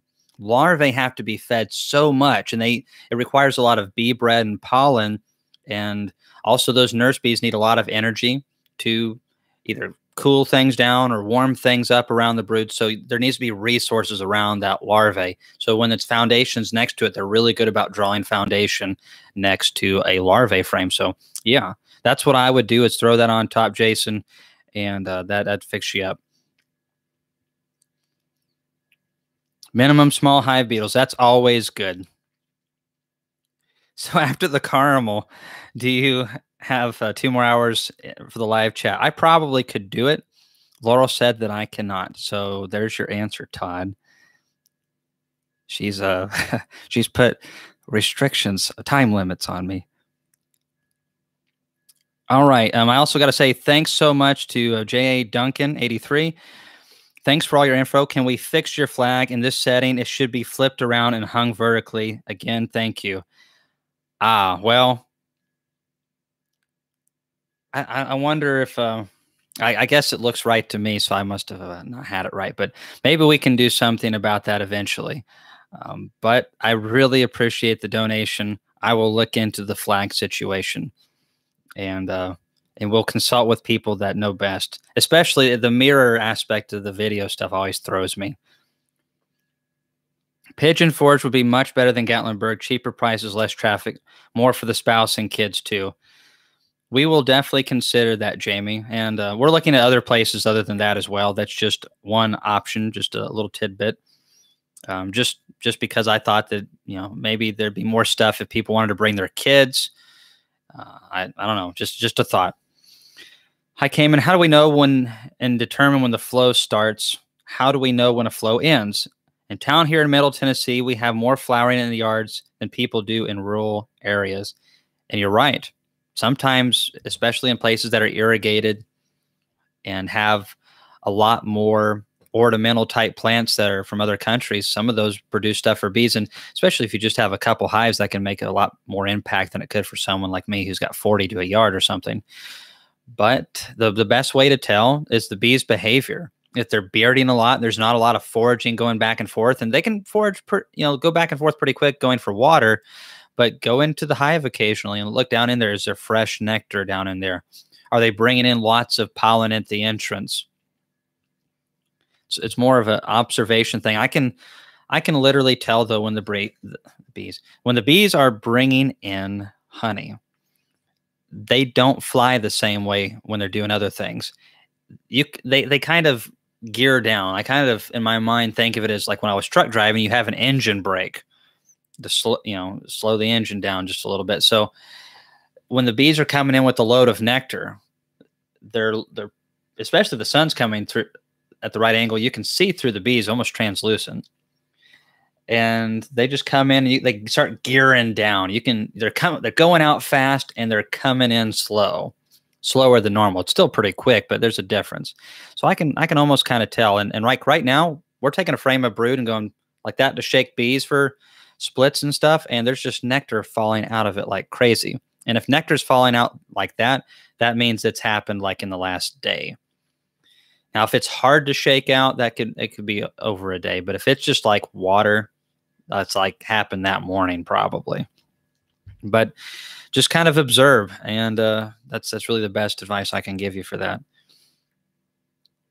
um, i don't think i said thank you to ww outdoors thanks again for coming on and uh, helping support everything that we do if you have any questions especially you guys who donated um, just make sure you know i really appreciate you guys and would like to be able to get to your questions if you have any Let's see. Third time is a charm. How and when do you introduce foundation frames? So, multiple different times. When we put our honey supers on, and Ian does this, I was encouraged from Ian's videos and my um, honey producing buddy down there in Memphis, Gus, to put some foundations in your honey supers. Get a couple in there, that's always great to you know you might have seven drawn combs and two or maybe whatever the arrangement is get a couple per box drawn each year so you're adding more drawn combs i mean you just you can't have too many drawn combs i don't think You can, but it's hard. Very few people do. And so that's one way to do it. And it works really good. You can also make shook swarms at certain times of the year. Just shake bees out, buy a queen. It's basically like making a package, except it's much better because it's yours and it's right there and it's fresh and and just feed them really good. And they'll draw comes out. Swarms whenever we get a swarm in it always goes on foundation. By the way that swarm video where i was on top of the subaru or maybe did i do two videos of that this year? Whichever one that was one i was standing on the box on top of the subaru and whining about ian not being there to help me get it. Um yes that one. That is working on its third deep box swarms are really good. It was a good time of the year for it. And I did feed them early on. So we're not going to produce any honey, but we are going to produce 30 deep combs out of that swarm. Most of the swarms that I've caught this year are going to at least give me a double deep worth of comb. That's one of the best things when you make a shook swarm or when you catch swarms, use them to draw combs for you. They're great at it. They're the perfect age. Everything's going for you when it comes to drawing combs. Um, another time of the year is when you pull honey supers. I don't know. There's, there's some variables here. Some people pull honey supers really late in the year, but how I do it, we're pulling honey supers starting like right now. And when we do that and we've pulled all of them off, the populations are still big, feed them. Throw a box of foundation on, pull a frame of larvae up and feed them. Go, you know, so we'll have a single brood management, but you, know, you could probably do it with double deeps just fine too. But we do single brood management. So when that's done, all the supers are ripped off. Pull the excluder, drop that foundation down, pull up a frame of larvae, and feed them thin syrup. And you will get another box of foundation um, drawn. Now you'll have a whole other box of combs. So if you have 10 hives, you can do that on. That's that's 200 drawn combs. That's that's basically how I draw my foundations out. All right, let's see. Let's see. Hey, Noah Gainer, thank you so much for coming on and uh, donating. On you got a video game controller emoji thing with a broken hand, man. That's a, that's really a downer right there. But no, th thanks very much for the donation. Very much. Let's see. Fat Beeman says mineral oil, tea tree, and wintergreen. Huh. Do you think it's better to dip plastic frames or just rub it on by hand? I like rolling. I don't really do a whole lot of plastic frames, but um, foundations or using Pierco or any of that kind of stuff, you could just take a foam roller and roll it on, and that works really good. You can roll uh, rub it on with a block. I've I've tinkered around with that, and I think the wax needs to be a certain temperature. The foundation needs to be a certain temperature. If it's too cold, it doesn't seem to rub off very good and uh, especially you know when I'm doing and I'm not doing one at a time or two at a time. So um, you could dip them all in, like if you had a uh, maybe you're talking about dipping them as far as like stick the whole frame down in there and pull it out. Maybe just do dip it down in there, pull it up, and then just shake it off. If you have a whole pot that you can stick it down into, I know some guys do that. I haven't tried that yet. Let's see. Hey, Kamon, my question is about single brood management. Once you have harvested your honey supers, what's your process with all the bees without the supers on? So, like I just mentioned, Noah, we are going to throw on a box of foundation. Now, if you have combs or if you have more honey flow, you can just throw more supers on, but we don't have more flow when we take all of ours off. And what we do have is a big population of bees with not a whole lot to do. And we can't mess around either because they're not going to be able to draw comb very good in August. But if we get to them as soon as we and we have to feed them. If you yank everything down to a single brood hive, you have to feed the colony unless you have more flow on the way. And some people are like, why didn't you leave honey for the bees? Well, we could have. We have a business, we have to run it. Otherwise, we have no more business and then we don't have no more bees. And also we leave we choose our management to leave the fall flow for the bees. And there's other reasons why I feed the bees during summer that's um, give me positive um, gains as well. So we we pull all the honey supers, throw on a thing of foundation, get that box drawn. You can't have too many combs, and if you end up with too many bees and too many combs, you you break it down in half and you put a queen in it and you sell it, and it's that easy. All right. Let's see. Hmm. How do you get the bees to draw medium frames when you only have deeps drawn? Ah, well, that's one of the reasons why having all mediums or having all deeps can be really, really handy. However, I really like having deeps for brood nests, and I do like handling medium honey supers. I love the cost effective aspect of, of deeps. I don't have the equipment to constantly. I pinched a nerve just the other day. And let me tell you, when you're handling lots of deeps by hand, this lift is helping me sometimes. If, if it's really level, the lift does a good job. If it's if it's nice and level and things are set up for it, the lift does a really nice job. If it's not level, tilting forward too far or tilting back too far, sideways, whatever, or the ground is all over the place. It is a nightmare sometimes, and you have to have two people. Now, Laurel and I work together in the bee yard, so that works out pretty good. But if you're doing mediums and you're doing deeps, then the best thing that I can do is, is suggest that if you have some drawn mediums, is that you kind of put a couple foundations in those drawn combs let's say you have only one medium drawn per colony. Well, if there's nine frames in there, which is typically what we run for honey supers, pull three of them out. Actually, what I would do, yeah, I would pull three of them out. So now you have six in there, and then take four foundations, and I I stick them in there, um, right in the middle. And I'm going to come back shortly. So once they start filling up those combs, on the side of those foundations, they'll start drawing those foundations there in the center. And you can also stagger them in there. Some people do that. I've done both. And but what I'll do is I'll come back soon. And then now you can put a box of foundations on. Once they've started drawing those and put a little bit of nectar, even if they're only part of the way drawn, that's comb to them now. That's their space now. It's not foundations. They, they treat it differently. Now you can pull those foundations up and they'll continue to draw those and then put your those combs that you took out and put them back in. It, ideally, drop the foundations below the combs. You want those foundations um, close to the brood nest. They seem to do better with them if they're closer to the the brood chambers. All right. Jason, you're welcome very much, and I hope you're doing really good down there in Florida. Sounds like you are, and keep up the good work, um, especially during this hot, uh, humid weather and Florida does get humid. Uh, you have to get pretty hardcore sometimes. Actually, one of my bee buddies introduced me to a fan that you can wear inside your bee veil, and I, I tried it out yesterday. Worked pretty good. So I'm, I may do a little YouTube video on that because it's very inexpensive, and it keeps your face from getting all just sopping wet and sweat dripping in your eyes. It just keeps your face dry. It's pretty nice, and it feels good.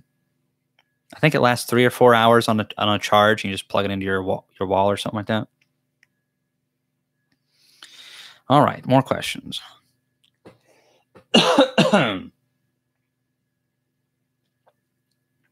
Lagrange B. Speaking of loading, have you thought about getting an easy loader or making one? Oh, have I ever? yes, I have. That's the worst part about watching Ian's videos. I mean to tell you, that easy loader it's almost a crime how I mean, when you take that much work out of beekeeping, are you really beekeeping anymore? I mean, come on, seriously. No, that's awesome. Ian's actually going to be able to stand up straight when he's 70 years old. And yeah, mine was too, Jason. My suit was drenched. And um, I tell you, I, I, hope to get one one of these days. Or you know, someone should start making some mid-range loaders like that. They they nothing you know as fancy as Ian's. You know that's pretty expensive.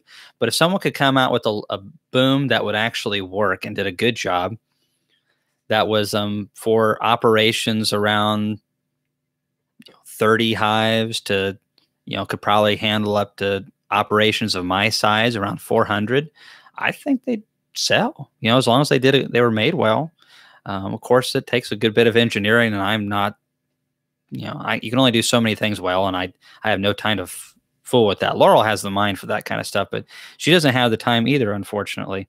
But Easy Loader is talking about coming to our conference. they reached out to me uh, the other day, and um, I we're going to really try to make sure that they come because we've got some big companies coming, and that's going to be really good for all of us. And I think it's going to be good for them too because they're going to get to see you all. And and let's face it, if you're watching this live chat and you watch my videos on a regular basis, you're pretty hardcore, more than likely. By a large percentage, I think that's one difference between our channel and some of the other channels. Not all of them, but um, when you're watching our channel and Bob's channel and Ian's channel, you're, you're pretty a serious beekeeper, or you really love bees, one or the other. Um, it's it's not a kind of halfway thing. So you know this that's the thing about this conference, and that's the way it was last year. I mean, they're just hardcore beekeepers all over the place. It was cool. All right, all right. Where where this thing jumped on me. Hi from Cape Town, South Africa. Oh, this is cool. South Africa. Really learning a lot from your videos and would like to know how would you manage a queenless to manage queenless bees. AM I don't even know how to pronounce that properly, so I'm not going to try. Is our native bee and workers can lay fertilized eggs. Ah, you're inspirational. Thank you very much. So queenless colonies are are rough, and I don't care if you have tons of experience or little experience. Sometimes it's really hard to fix a queenless colony. You can purchase mated queens, you can raise your own queens. I don't really know much about the natural behaviors of your particular bee, but I do know when our bees, whether it be um, carnies or Italians, or even you know Apis mellifera mellifera, you know, they're very similar. And the fact that when they go queenless, you have kind of a, a clock. And the, the longer you go without a queen, the harder it is to get a new one in there. If you recognize it and you still have capped brood in there, even if it's just some, you that still means that you have had some graduating bees. So you still have some young bees in there and you have more on the way. Those young bees accept queens better, and that, that helps a lot. But if it's completely queenless with zero brood, and you're talking about your workers can lay fertilized eggs, that I mean that's something outside of my expertise. I wish I could help you, but I'm almost confident I'd, I'd mess up. But what we do when they get too far queenless is we consolidate the bees with another hive. And maybe it's a colony that has a really good queen. Let's say if you've watched my videos, let's say we have some colonies that we we split. It's a six frame colony, five frame, seven frame, something like that. But it has a good queen in there. She's laying good patterns. They're on their way up. But one of the things that's holding them back is they need more population. So that would be a good hive to combine those queenless bees to. Now, if they've got brood in there, we'll drop a queen if we have a mated queen, or better yet, a queen cell. I don't know how your bees do their queen uh, raising all their queens and stuff how that works but queen uh, queenless colonies do much better with queen cells than they do with mated queens i find in my personal experience i'm sorry that wasn't a really great answer for your specific situation but i i really can't help with those type of bees but now i'm going to do some research because that sounds really cool and maybe one day um, I can actually see some of those bees in person. That would be fun. Hey, Jackpot John, thank you so much for donating as well. We really appreciate you. Let's see here. Uh, the Cape honeybee. Okay, that sound I've I've heard of those, but I still don't know much about them very much. I will uh, when I get off of here. I always love reading uh, about any type of pollinator, but especially uh, this this is going to intrigue me quite a bit. So I'm, I'm going to do some research. That doesn't mean I'll know much about your situation, but I'll know more than I did right now. So let's see. What's Ian's channel? It's a Canadian beekeepers blog. That's what it is. You know, and for a Canadian, he's he's not too bad to listen to.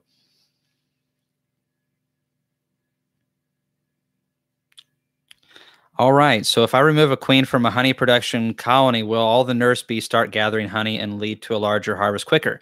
Yes, this can be advantageous. There are some beekeepers that actually purposely go queenless during the flow at certain times. This is all very timed and thought out. But yes, you'll take the queen.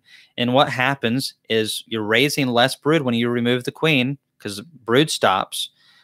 And because there's not as much brood to maintain, your nurse bees graduate to foraging age quicker. So you get more foraging bees, but you got to time this. You don't want to do this prior to the flow.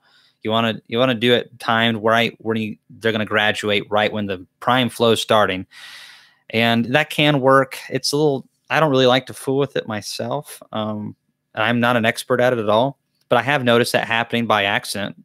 Colonies will go queenless or supersede at a, a, a good time and make a nice crop of honey still. But I like having bees and I like having brood because uh, it's not all about honey. Honey's not our number one product. We really like producing splits and queens, but there are some books out there that address this. Comb honey production that was done by the Killion family, one of my favorite older books, still a lot of great information in it. And uh, Honey in the Comb by the Killions, um, K I L L I O N, Eugene Killion. And it talks about requeening those comb producing colonies for multiple reasons. You get a little bit of that tendency, and you also get a fresh queen and fresh queens. Uh, they don't want to swarm with them near as much. Excuse me. All right. I don't know. My computer usually has, well, why I'm looking down all the time, which is not normal for me. Usually I have the questions over here on the sidebar, and YouTube is doing something funky today. Thank you, YouTube. So I'm actually have I have it on the phone right now. I'm getting to watch your comments here, and so that's why I'm kind of looking down at this. So I'm not texting and ignoring you. I promise. I'm acting like a 30 year old. Okay. Let's see. Kamon, is it normal for bees to be sensitive to being close to the hives after you've gone through them? Yes, it is. I've had a couple buzz the tower and around my face, no stings. Yeah, after you work them, especially at certain times of the year, especially in a dearth period, once you've messed with them, they're they're a little bit more irritable for a couple days afterwards, and that's that's very normal for us. Is there going to be a place to park a semi at the convention? Actually, one of the places that we're looking at, we can drive a semi into the room. Uh, not that we're planning on it. Um, but hey, you never know. I thought about driving Big Red maybe if we did that. Though I could drive Big Red inside the conference and have a bunch of cool stuff to throw off the back of it. Let's see here. Huh, Anita, will the Amish be at the conference with their cypress boxes? They are nice. Well, I can't seem to get a hold of the Amish on the phone, Anita. I, am not trying to make fun of you. I'm not, I promise. But um, serious, the Amish won't be willing to do that. But we do have some vendors that do sell their boxes. And so their their stuff's going to be there. I'm, I'm, sure it'll probably be a buck or two higher than what the Amish would do it for. But um, I just don't. I'm not sure uh, I know we'll ha- we'll at least have some of that. We're going to have some great diversity. I've already talked to multiple vendors. They're excited about coming. I mean, whether it's anything, the main thing we're focusing on is the stuff that you all use all the time, the stuff we use all the time: frames, foundation, boxes, nice bee veils like the one that I wear. We're going to make sure there's a bunch there. We're also going to make sure that there's pollen sub. There's also and cheap pollen sub, and there's going to be other supplements as well. So we're going to primarily focus on what do beekeepers use the most, you know, bottom boards, lids, that kind of stuff. And we have multiple vendors that make them themselves. So I think we're going to have at least three vendors that it's it's not like the big companies that are making really nice boxes. And one of them is our sponsor for the experimental yard, Hillco. And uh, Hat Bee Acres is planning on being there, and they make their stuff. Um, I'm not sure they make all of their stuff. I think they make a lot of the woodenware. Um, so there's going to be multiple options there. We're going to give you plenty of options. And the cool thing is, you're probably going to find some vendors that you didn't even know were close to you. And there's a lot of products you're going to be a a t-shirt cannon. Uh, I've got a, that would be fun. I'd probably put somebody's eye out. Let's see. Partition. Okay. I got myself lost. Picture with Kamon and Big Red sounds like money, sir. Autographed, I would hope. Oh, we we're not going to charge money for that kind of stuff. Um, but yeah, we're uh, we're gonna have a fun time. That was one of the things I, I talked until I almost lost my voice, and Laura was so pleased the next day. So y'all gotta try to do that again where I, I lose my voice. Let's see. Yeah, Hilco boxes are crazy tight. I just showed somebody some of mine from the experimental yard, and he was really impressed. It reminds me of what Mann Lake used to be on their boxes. You would never know that now. Yeah, I mean, and, and so we're Hilco has some really good prices, and that's the thing. Uh, that's the biggest problem with these small vendors.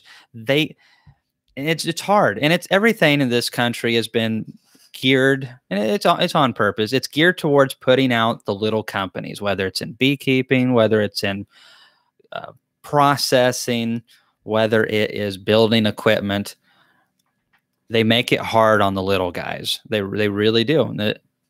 But the cool thing is, if they're at this conference, you don't pay shipping. They're going to do percentage discounts. They're going to have like one product that we're like, this is something that you have that we like, and that we can do pre-orders on and get you all a big discount. And then they'll they already have all these. You know, it's worth it to them if we can sell you know five hundred thousand boxes and everybody gets to save and it's good for them because they save that time you know it's it, that's the thing that's the way we do our business you know we don't sell honey one jar at a time we go bankrupt. We sell it by multiple cases and then they actually sell it to people and because of that we're able to focus on what we do best which is not selling one jar at a time. I'm terrible at that. Oh i can sell jars of honey one at a time. The problem is i talk to people about bees for 30 minutes a jar. I lose money. And so, you know, Laurel's like, you can't do that anymore. And, and also it just, it worked out that way because I was driving a truck with this business. So anyways, we're going to make it cost effective on everybody. But yeah, it's those Hilco boxes are tight. Let's see. Hey, Frank White, we really appreciate that. And um, it's insane it's been a crazy journey the last couple of years going from zero subscribers and my wife saying you need to do to do a YouTube channel and me saying no it'll never work to where we are now. And by and large that is because you all have shared our videos. And and because of that a lot of cool cool things have happened. And I hope that everyone has been um, helped in their bee yards. And whether it was our information or maybe us saying hey you need to check out Bob Binnie or you know check out Ian's video on this or whatever it is that we can help point you in the right direction. It's like this incubator I have right down here on the floor that I had in my last video. Bob did a review on that. I didn't even know beekeepers of his size use incubators like that. I was fixing to buy a model that costs like three times as much. This thing works great. It doesn't break the bank. I can put a oh a little over 200 queens in there if I if I pack them really tight and it's fantastic. So since Bob did that YouTube video, I was able to save money and get something from that worked and fitted my fit my needs. And I also have a little bit of reassurance because I really trust Bob. He's a good friend of mine and a great, great beekeeper. So that's the type of stuff we have got to do. We've got to find ways to communicate better in the beekeeping community so that our dollars that we are going to spend you guys are beekeepers too we spend a lot of money but we've got to put those dollars in the areas that deserve it and the areas that are people that care about beekeepers like ourselves and that are going to innovate for us. We need some better products. We need best better customer service. And we've got to find ways to put our money into those men and women's hands so they can continue to serve us and create for us. And I think that's where YouTube has its greatest potential is because if we can key on those areas, then we can kind of get what we want and more of what we want long term. All right. Frank White, I've done nothing but spend money so far. Frank, I really feel your pain. Um, that was that, that you pretty much summed up my first seven years of beekeeping, probably. Now, it's not going to take you all seven years, I don't think. If you, uh, I think if you, now we have better education, and I think people can do what I did in probably a third the time, which is cool. Oxalic acid vaporizer that doesn't break the bank for the backyard beekeeper.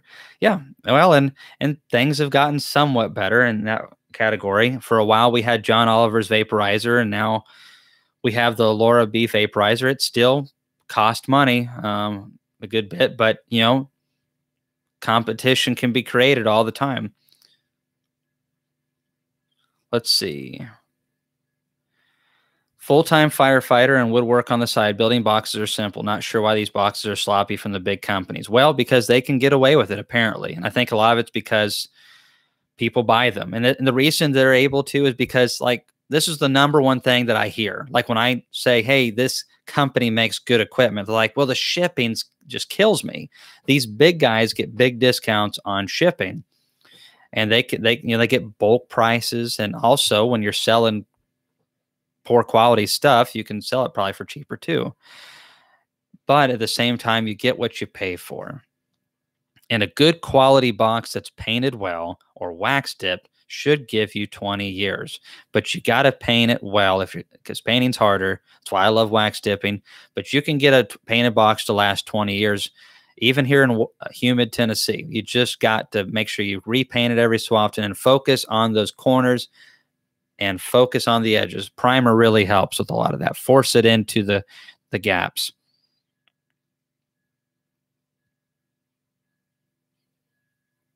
There you go. I hear that.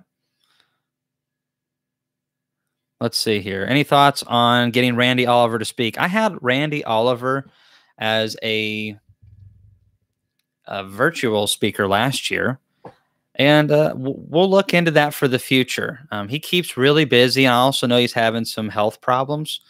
Um, so, and California is also extremely strict about everything. I mean, even me talking over this to you, if you're in California, probably is causing you cancer right now. So uh, it's Randy's been a little bit hard to, um, you know, get freed up. He's, but that would a lot of people would like to have Randy there, and he's definitely one of the guys that we have considered getting in person. I asked him last year, but of course, um, California wouldn't let him get out of the state. Um, we are talking to Michael Palmer about it as well, but he has some um, hangups as well. So, um, with that, but there are some cool things between me and Michael Palmer going on, which will come in the future. Not going to say any more than that. Wow. My wife says if I had a girlfriend or started drinking, it would be cheaper than beekeeping. Could be true. Maybe. Well, and that's again, I'm going to just beat this horse one more time. I know it's a terrible thing to say, but I said it anyways this conference, I I firmly believe from talking to I mean we're talking from guys that are businesses that are a couple years old all the way to Dadant and Mann Lake and all of them. And the, the big guys have their place. We need some big producers out there because if they're doing their job right, they have the money to create stuff like Ultra Bee pollen sub. You know, you're not going to get somebody, you know, some small company making their own pollen sub. More than likely, they just can't afford the equipment. So but we need the big companies to be held accountable to a degree so they can't sell us garbage. But we're talking to all of them. We're going to get the prices down lower. And what I'm hearing right now, we're going to have some crazy good pricing, crazy good prices on a lot of stuff. All right, all right. How late in the year should I consider splits in southern Illinois? Ooh, I don't know how cool you drop down, but I would think that, you know, no later than early August, and maybe that might be too late for you. I don't know Illinois that well. I mean, I've been in Southern Illinois a little bit, but the last time I was in Southern Illinois, I was truck driving. This has been several years ago. I was delivering in late January. It was negative nine, and I was unloading freight by hand. Let me tell you, I unloaded at a record breaking pace because I needed to work as fast as I could to keep my body heat up, and it was cold. So You know your your weather, your season better than me, and it depends on what the type of split you're doing. If you're doing a double deep split down the middle and they're both singles, that's pretty good. You know, you can get them up to size. I want to see at least two, at least two good brood rounds before those bees start gearing down for winter.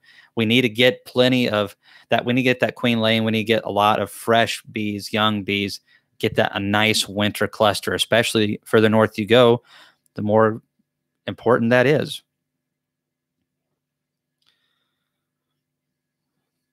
Second year, seven hives, hoping to get four to 500 pounds of honey this year and recoup my initial investment. That would be pretty sweet.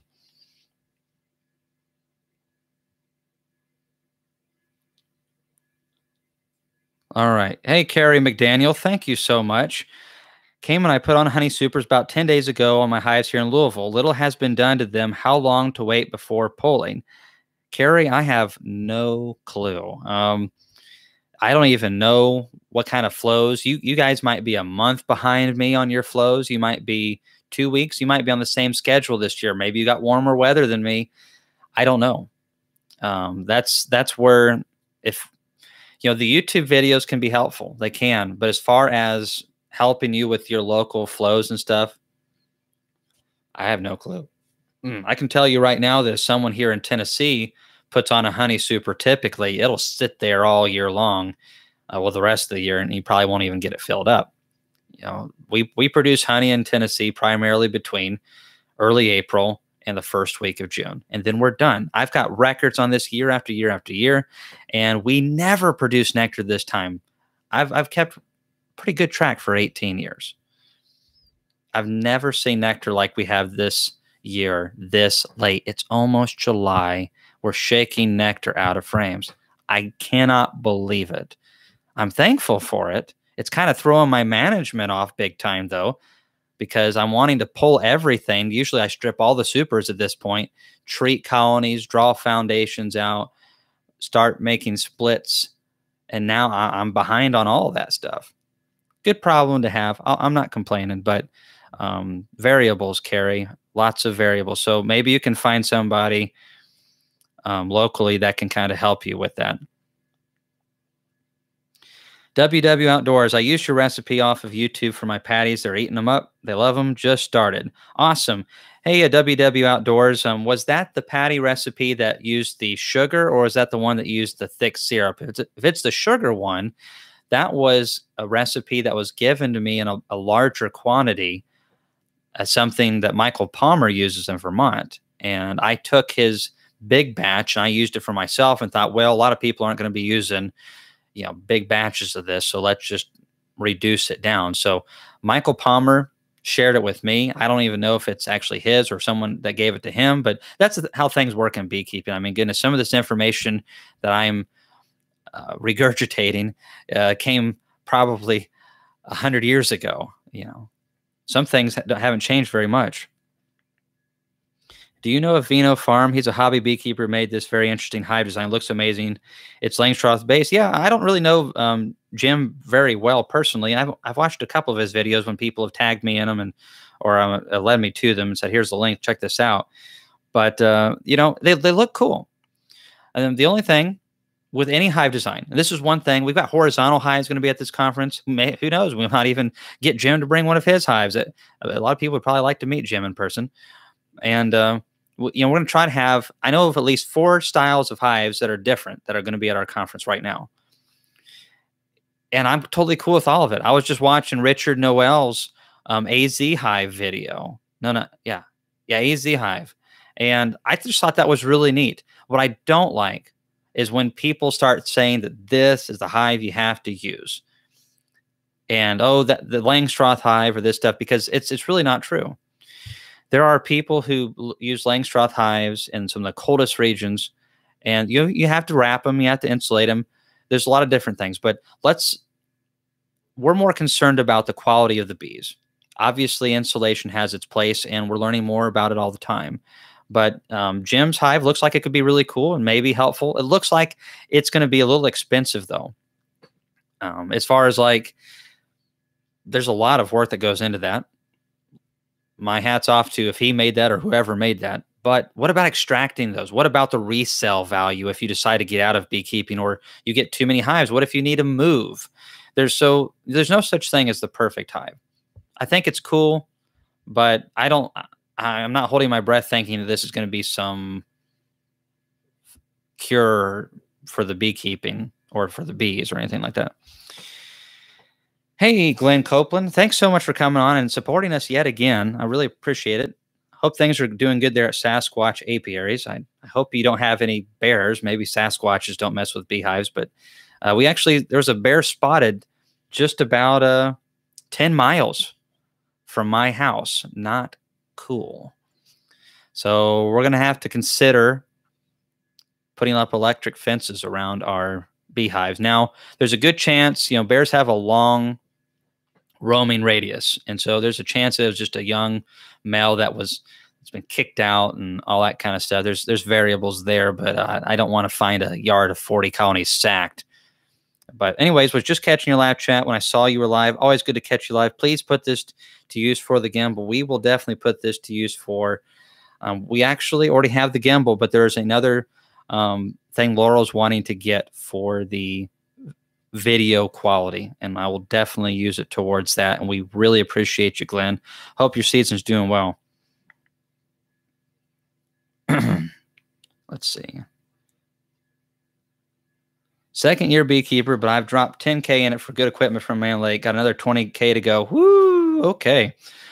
You're jumping in fast, Noah. Well, you know, sound like me.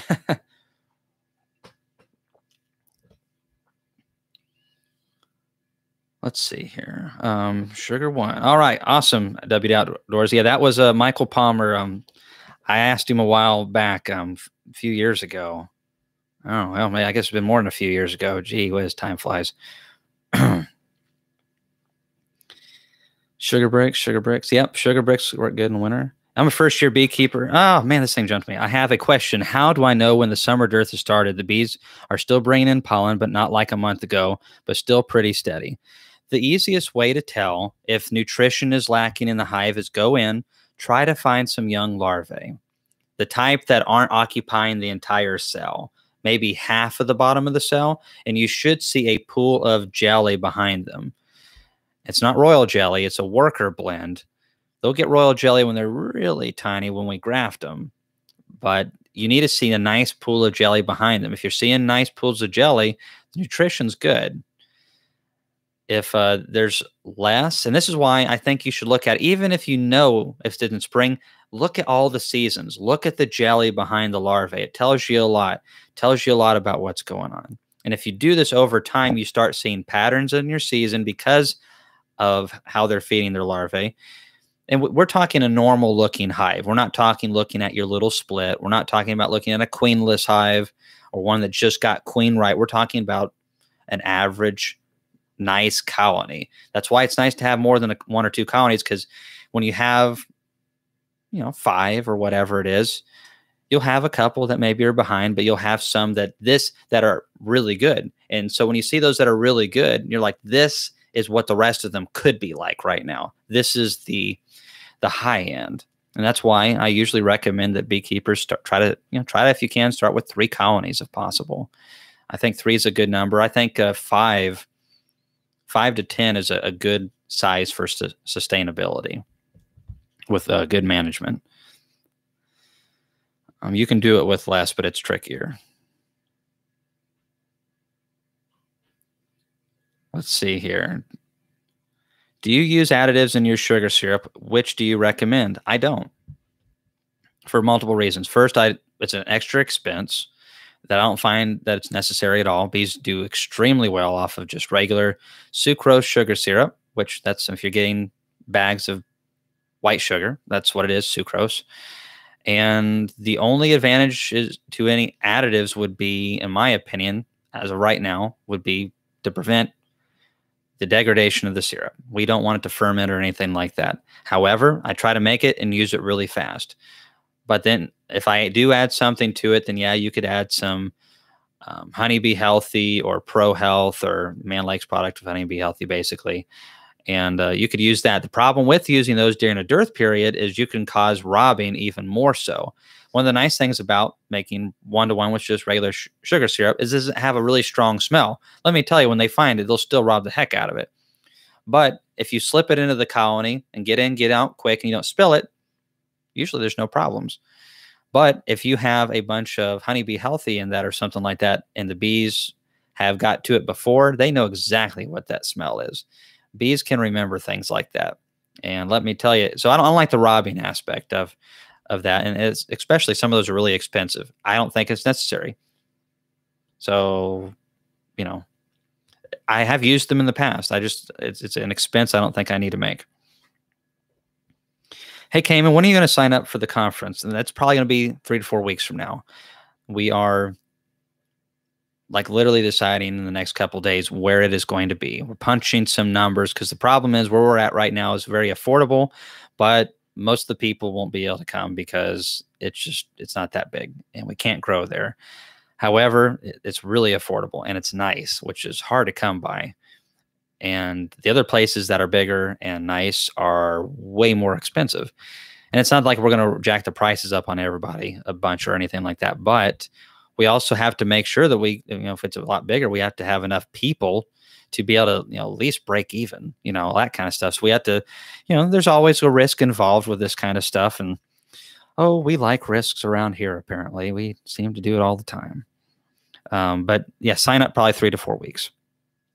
Going to try to have it really nice this year. Online sign up, you get email confirmation that should be pretty immediate. That would be nice on you and nice on us. Are honey competitions still a thing? They are in some locations, especially in big honey producing areas. I'm really not big into that. I used to do a lot of bluegrass mandolin competitions, and uh, it's part of its human nature, but you know, you get these people that show up and they're, and they're good people. But, you know, if you're a judge and you know people, you know, you kind of get biased. This, oh, this family's been doing beekeeping for four generations. And at a certain point, I think with all competition, there's a, a certain degree of um, getting biased. Now, some competitions are really good about making sure nobody knows where this honey comes from, all that kind of stuff. So I think um, I think that could be pretty cool. But yeah, I really don't get wrapped up in that stuff. My honey's not probably the best in the world, um, but it is one of the best in the world. You know, that's why I look at it. It sells great. My bees do exactly what I, I want them to do. Um, I'm proud of what we have. I don't need a competition saying what I am. That doesn't mean you shouldn't do it. I just uh, I'm not really into that these days. Um, I've never I've never actually applied for a a honey competition, even though I've been at a lot of places that have them. I just, I don't like to fool with it. Let's see here. Questions, questions. How quickly should bees draw out black plastic foundation? Ours seems to be relatively slow. Well, a lot depends on the bee's condition. Is there, are you feeding them or is there a natural flow coming in? So you got to make sure that's there. The bee population's got to be at the right spot. excuse me. Um, also, you got to make sure that there's um, a good wax coat. If there's um, one of the nice things about having more colonies is that I'm able to get a, a better picture now than you know when I tested things out when I had 20 colonies, you could see some differences. But when you you're testing out thousands of sheets of foundation at the same time of the year on very similar sized colonies, you can kind of get a better representation of how things perform. I've drawn out a couple thousand sheets of Rite-Cell this year. That's Mann Lake's plastic foundation. It's got a, you know, in its defense, it has a single coat of beeswax. It's very thin. And, but it works. They've drawn them out and by and large drawn them out very well. But they were strong colonies during the prime part of the honey flow. If you can't draw foundations, then you can't draw them at any time. However, I've also drawn about 1,100 sheets of Premier Foundation at the same time with uh I think I've seen much better performance. They they they I have. They they accept them faster, they draw them faster. But when you get those Premier foundations, and Premier is going to have a wonderful deal for us. They're one of our sponsors, and they're going to have some pallets of foundation there. And let me tell you, you don't have to, you could be a blind man and you'll know that Premier's there because that stuff smells so strong of fresh capping wax that you and the bees are going to love it. And, but the problem is shipping kills you on a lot of stuff like that. So that's again one of the reasons you got to come to this conference. You save a lot of money. Um, but yeah, you'll see the difference if you actually come, um, or if you ever try them out. I got the the two coats on on mine. They're the heavy wax, so it's two coats of wax. It's amazing how well they they drew them out, and it's not because they sponsored me. I'm saying this; they just did so good. I've had really re good results with Acorn plastic foundation that was also heavy waxed. Um, so good good wax coating is is really important. But I do like the fact that I get a lot more sales in the Premier foundations over the other companies. Let's see here.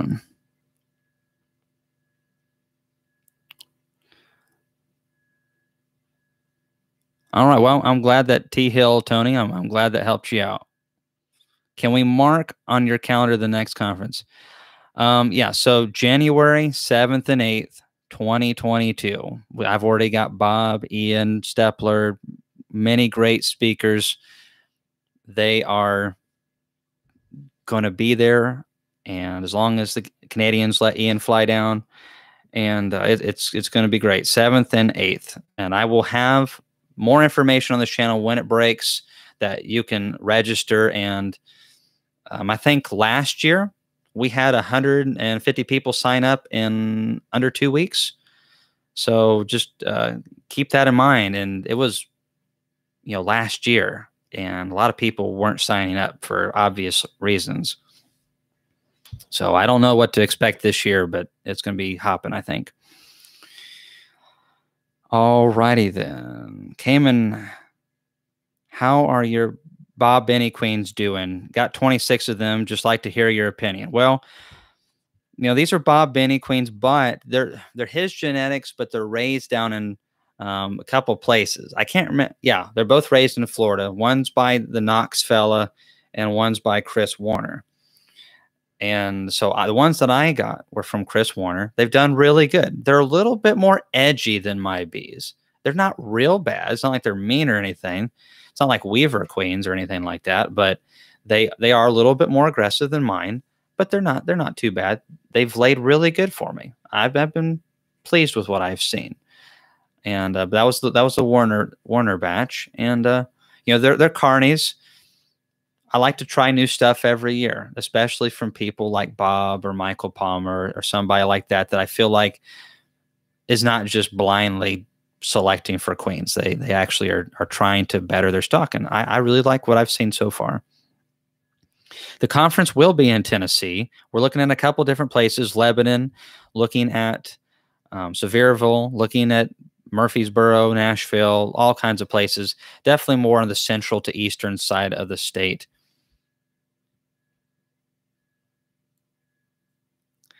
Can you attend the conference to buy products if you can't attend due to space? I don't know if we would be able to work that or not. Um, probably not. Maybe um, the vendors, however, though, might work with you on that. They might uh, they might be willing to to like meet you outside or something like that. Uh, so uh, uh, that they might be willing to do that. I have no clue.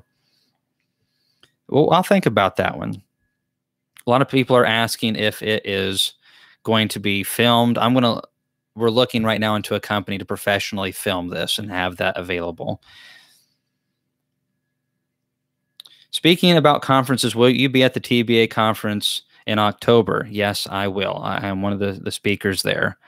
And um, also, I'll be doing a segment with Kent Williams on queen rearing. So that's going to be a lot of fun because Kent and I do things a little bit differently, but um, um, Kent definitely has raised queens for a long time. And uh, also, Randy McCaffrey, the Dirt Rooster, um, sounds like he's threatening to show up as well. So be forewarned. I know now why you do plastic foundations, less work. Oh my goodness. Well, see, and I was a new beekeeper at one time. I used to try to reinvent the wheel. Plastic foundations, you don't have to use them. You can use wax foundation. I used to put in deep wax foundation, and then I'd have to cross wire them so they wouldn't blow out in my extractor and and lose my combs.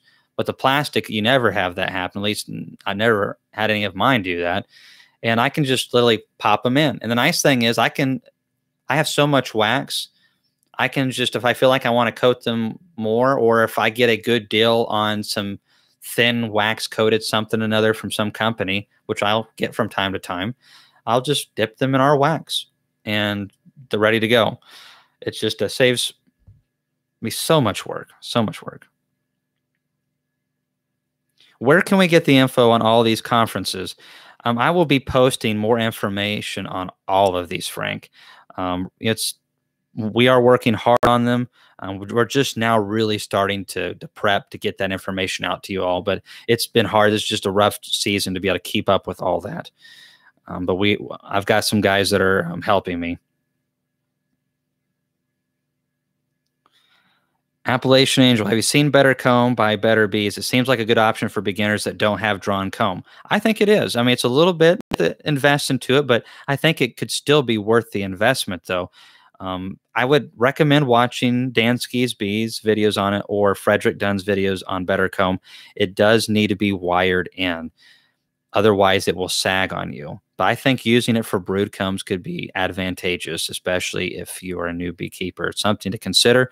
Better Bee is one of the companies that we are really working hard to try to get them down here. They have unique products that other bee companies don't have, but some of these companies do not do a lot of these things. So, one of the things that would be helpful from you all, if there's somebody that you want there, let them know. Send them an email, give them a call let them know about our conference. Just say Hive of Life Conference, Kamon Reynolds, January 7th and 8th. You can uh, message me at Tennessee's Bees at gmail.com. And, you know, I think it's going to be good for them too. I mean, there's no, and no doubt in my mind. I mean, I think that they're going to be able to sell product. But if we can get them out there, that's where you can probably get a deal on Better Comb. If we could get Better Bee out there and say, this is where I'm talking with these companies. If we get pre-orders on drawn better comb, we buy, we get, you know, a bunch of people together, buy 500 of them, just think they'll give us a discount on that. They're happy to do it. Larry Lee's Bees, hope things are going good for you in Washington, Larry. Hey, Cam, we are hitting triple digits for the next 10 days. Should I be pulling the honey supers and supplementing with syrup or leave the honey for the girls and hope for a fall flow? Thanks for all you do. Man, I don't know what your your season's like or if you guys are already done producing honey and they're capped and ready to be pulled, then I don't see why you should wait. But if you have more flow to go and you have there's more space in there that you think they can fill up, then then wait a little bit. Um, I would just obviously you try to keep the gals as cool as possible. Put something on top of those lids and try to give them a little bit of shade if possible, even if it's just shading the lid itself and creating a little bit of uh, air movement. A lot of times I'll just take one of my migratory lids and flip it upside down, give it some shade and some air movement. Thanks again for donating, Larry. I appreciate that. Um, yeah, you, you, you looked a lot different with the beard though. It looks like the uh, your woman uh, decided to that she didn't she didn't like the beard anymore and got you to hack it off. We really wish you'd cover your face back up. But, you know, she's the boss. Let's see here. Yeah. I I have a friend who has 42 beehives, white boxes. He also has a white garage building to park his truck in. He called me up there, and all his beats was on his building, he took smoke to get them home to his hives. Huh, that sounds really interesting. I wonder if he just moved them or something. That was, that's interesting. So Jackpot John says on Better Comb, I only use it for brood. If you don't embed it on wire, it will sag in hot climates. And that's what I've heard from multiple beekeepers and YouTubers. And so um, definitely need to wire that in. Frederick Dunn has a great system on easily wiring that in, and uh, that would be pretty good.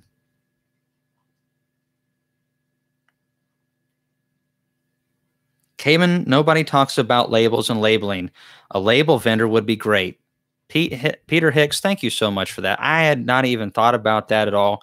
And that's why people like you have got to speak up because I, I've, I've just don't think about a lot of these things. And that would be cool if we could get a company that specializes in really cool labels. I'm not talking necessarily even a bee company, just a company that specializes in making cost effective labels. Maybe a representative from like Sticker Giant. One of my buddies who owns a coffee shop around here gets all of his labels from Sticker Giant, and I'm looking at doing that myself. He says they're really great to work with, fast and affordable, and the labels are good. So who knows? Maybe I could get someone like that, or maybe we can find a beekeeping company, or shoot, maybe one of our subscribers does that and does it well.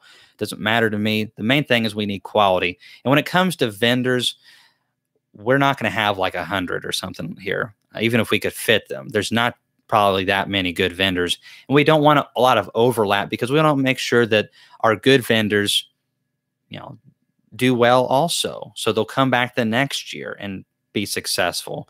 We're gonna just like with everything else we do, it's it's a focus on quality over quantity but definitely appreciate that suggestion. I literally just wrote that down. So we will do our best to have a label person. I'm going to elaborate on this a little bit so Laurel can read my handwriting. All right. So thank you, Garrett B Company, once again. Hope you're doing well. Thanks for the live chat. Always busy. Honestly, haven't watched you much. Uh, uh, ouch. So busy. Wish you the best. I'm getting burned out. Not as fun as five years ago. Long story. I know you know what I mean. Garrett B man, I know exactly what you're talking about. That is one of the risks that you take when you start doing what he's doing, what we have done, and we're still doing. Whenever you turn it into a serious sideline or a business, you can turn it into a monster. And the growing pains are rough. Some years are rough and just not gentle on your bees or you. And this time of the year, it's hot and it's sweaty. I mean, you just, especially when I was working a full time job, it's still that way. I haven't gone through as much beekeeping burnout, but that is a real thing. A lot of beekeepers, and I'm talking about beekeepers that are not just running 20 hives. I'm talking some guys running a lot more hives than I am. And they go through beekeeping burnout because it's just, it, it's taxing on your adrenals, your electrolytes, especially if you're out in this hot weather.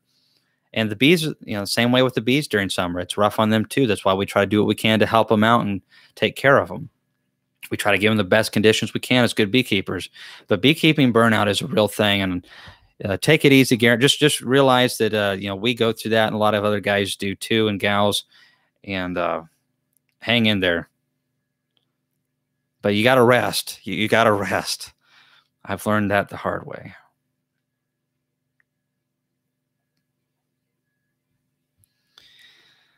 Ooh, can you give us poor beekeepers a lead on where we can buy queens? I can't afford $40 queens. That is a question I haven't no good answer to. The prices of queens just keep going up. And the quality of queens is not going up with the price. This is why I push and encourage so much to raise your own. And if you can't do that, encourage somebody locally to do it. Even if learn how to use cells. I showed these earlier. I'm going to show them again. I'll just show a little bit of them. Well, I'm just going to show this one. So we got some queen cages, um, queen cages, some queen cells, and these are queen cell protectors, JZBZ system. And, you know, if you can find someone locally that can do this, raising queen cells is not that hard. Um, once once you learn how to do it, you can raise a ton of queen cells. Having enough mating nucs for them and having enough bees for all the mate for the queens, that's the trick. And having the time to fool with all of them. But if you can get someone to raise queen cells, learn more people need to learn how to use queen cells properly. And you know, you're not going to get 100% takes, but even if you can pay, you know, let's say you get a queen cell for 7 bucks, you can you can get a lot of queens for $40 but there's not a good answer on that one, uh, Frank. Um, the queen prices are just going up. Shipping prices are going up unless you know somebody personally. I don't like buying queens because it's awful. Most of the time, I spend a lot of money and I don't get queens near as good as what I can do myself. There's a few exceptions to that rule, but those guys that do that, they are so far booked out and it's so hard to get them when they need them because they only produce a small time of the year. It's a, it's a frustrating situation learning how to raise your own queens is one of the best things you can do. YouTube burnout as well. uh, yes, absolutely. I haven't posted near as many videos the last couple weeks. And there's a lot of reasons for that. Beekeeping burnout and just not having enough time. Kamon Sticker Mule is a good label and sticker company. I'll have to look into that too. Exactly. I mean, and let me tell you, I understand. You know, people when you're working a full time job and then you've got to manage a bunch of colonies, it it's insane. And then, you know, if you don't have enough time for your kids during that time of the season, which typically you don't, if you if you're like me, you feel bad as a father, and then yeah, it puts you know then that stress is just all forms of stress, and then especially the people in your life, and you just got to ignore these people that say, "Why don't you just stick to your day job and just keep it at a hobby level, Kamon?" I don't know how many times I heard that. Keep it, you know, just stay in your lane basically is what they're saying. You know don't don't get any special ideas. You're really not that special Kamon. And i'm really not. I just didn't give up. And we went through a lot of craziness and burnouts and stress and eyes twitching for months on end because our bodies were shot but that's what it takes a lot of times Ah, just bought a new vintage jacket. What a difference. Well, you know, those vintage jackets feel pretty hot, but once you, you throw one that's not vented on, you can you can really tell the difference. All right, all right. Let's see. Hey, John Hatch, thanks for coming on. Take care up there up north. Hey, Mr. Stan. Hey, Kamon. How's the Apimaye yard doing? You still a fan? Pluses and minuses. I love them. The Apimaye boxers are doing great. Bees in them are doing fantastic. You know, the wooden hives are doing fantastic too. If you watch my video this morning, obviously those bees in those wooden hives are doing pretty good. They obviously beard a lot more in those wooden hives than they do in the Apimaye hives. Pros and cons, pros and cons. I think that there's a lot of advantages with the Apimaye hives, but you know, then you have to weigh the cost into that. And some people don't want to use those type of hives. So I, I definitely don't think if you buy an Apimaye hive, because some people are like, oh, that's such a gimmick. I don't believe I don't believe that at all. But I don't believe you need to, you just have to use them either. So it's not. I think it's it's safe to say though it's a good product. You know, some people won't want to spend that money, and I, can tell you right now, I'm not planning on switching all of my colonies over to it. I can't afford to. Um, but and I don't and I don't need to. But at the same time, we're gonna learn a lot more about these things in the experimental yard, and especially once we go through winter with 26 of them, or whatever survives to winter. That's going to be really interesting to see. I'm I'm excited because we're really close to the part where we're going to start uh, doing the alcohol washes and then and then doing the treatments, and that's that's really the nuts and bolts of this experimental yard. I've got some video footage that we're editing and, and going to have up sometime this this week on the experimental yard, giving you updates. And I just secured a control yard that is a safe distance away from all of my bee yards. So the control yard, if the mite loads get really high, and I don't know of any other beekeepers in that area, then we're not going to have to worry about drifting into our other colonies, especially the other experimental colonies, because we definitely don't want to contaminate those and mess up the the numbers. And I do plan on not just letting them crash because I don't, there could be some beekeepers nearby. And I definitely don't want to be crashing their hives because of our experimental yard. That's very irresponsible. So, what we're going to do is do some alcohol washes again on those later in August. And I'm sure that they're going to be quite high probably in early September. Like, okay, this is unsustainable. You can see it. Here's the numbers. We're also keeping records right now. There's been a couple colonies that have swarmed. I've had two colonies out of the 52 that have swarmed, and I've had, I'll have to check my notebook, but I've had at least two, maybe three colonies that have superseded their queens. That's going to be written down on these colonies. So when you look at hive number 22 in its chart, you're going to see, okay, this one's superseded uh, at this state. And that way, if maybe there's a hiccup in the mite population, there, oh, okay, they swarmed, that they shed some mites in, with swarm, which is more than likely. So we tr we're trying to keep them all together, but there is some variables happening, and that's just you're experiencing variables in your bee yards right now. but yeah, Stan, the the the, the Apimayes are doing really good. Hey, Steve, thanks for coming on. Thanks so much for your support. We really appreciate you, and have a good night. All right, let's see here. Hmm. Wow, this thing, you guys have dropped a lot of questions. I'm putting a swarm box at my son's house. He lives near Kamon, but if Kamon wants them back, that's okay. No, no, no, no. That's that's all good. If uh if I shoot out any swarms, that's whoever gets them gets them. That's my problem. That's the way I look at it too. If, if someone shoots a swarm and it goes off of their property and somebody grabs them, then you should have kept your bees from swarming. That's your fault. Um, but yeah, I'm, I send out swarms. That's for sure. And then you know they go out and get in a tree, and hopefully they'll survive maybe and send out a swarm the next year. Swarm traps are good though. I would definitely have some more swarm traps out next year. All right. There's a guy just on here talking about a place that gives away queen bees. Come back, tell us again. wow. Bee club leader gives them away. That's really cool. Are we you know, and I think this is where the, the two day queen cell thing, I think probably has its the most merits is if you had somebody who raised queen cells, you could literally have a ton of two day queen cells. And if you had a good system, you, of course, you'd have to educate the people who got them, but then you could take those home and you could raise queens with, with a two day queen cell like that. I think queen cells um, need to be utilized more. Hey, Walter, thank you so much. I'm, I'm glad that you've learned a lot and uh, glad that it's helped. So, Jason, thank you so much again for helping us out. You bought three ventilation sections from Mann Lake. They're two inch high, got eight one inch holes covered with metal screens. Is this a waste or will it help with ventilation? It'll definitely help with ventilation. I know some guys really like them. Um, I don't know, Jason, if you follow Bob Binnie's channel, it would probably be a good use of your time. Bob's a really smart guy, really smart beekeeper.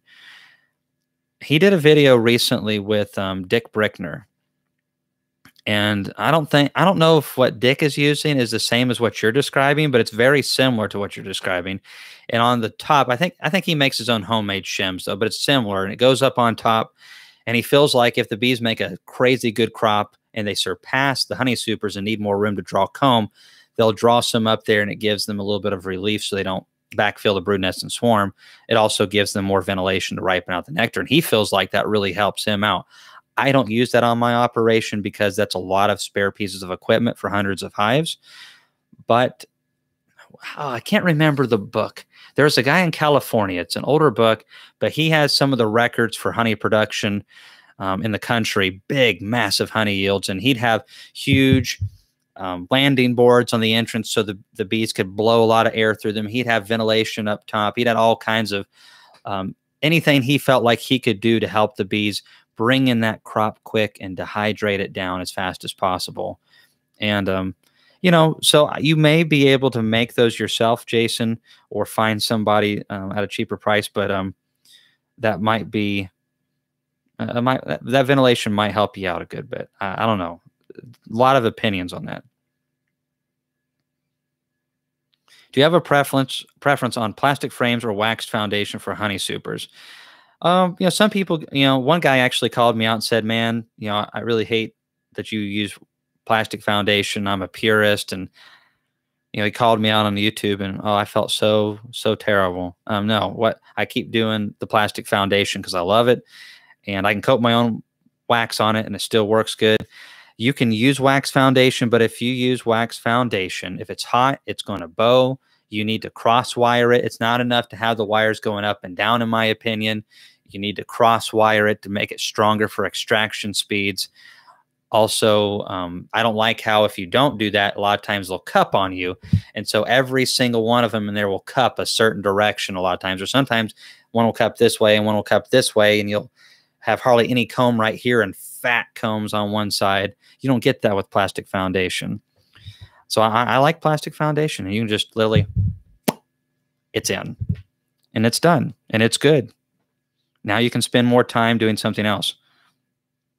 Yeah, the bearding is brutal. Trying to help. Well, a lot of that is due to your humidity, Jason, and uh, it's it's hard to to deal with that. But your, that ventilation should help a, a degree. Yeah, I wax foundation. I mean, like there's there's certain things that I really do not like doing in beekeeping, or I hate. And the top of the hate list is varroa mites. Pretty easy, low hanging fruit there. After that, is wiring in wax foundation. Now they have some Frederick Dunn has some videos on this where you can get an embedder and it heats up the wires and uh, it it really is a lot faster. So if you're going to do a lot of natural wax foundation, which is great, I'm not saying that you're an idiot for doing it. I'm just telling you why I don't like it. And if you're but if you're going to do a lot of that, get the embedder. I don't care if you have to borrow the money. It's worth the time savings. And uh, the other thing I hate doing is painting boxes. Man, I hate painting. Those three things right there, hate it.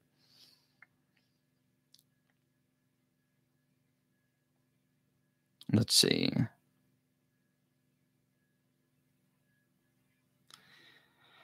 Garlic and honey with cinnamon. Okay, this this is something. I'm, I'm looking at some of these, and it's fine. I, I'm fine that people are having conversations on here.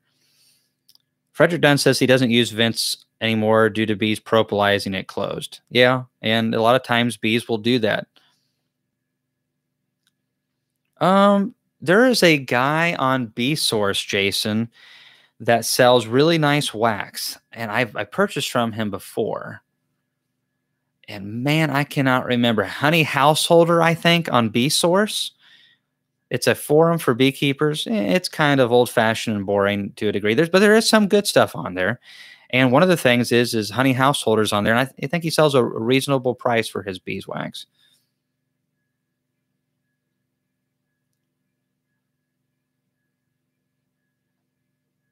Let's see. Mm -hmm. Well,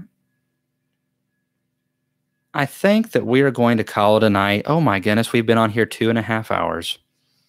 I appreciate everybody joining. It's been a lot of fun. It's been a while since we've done this.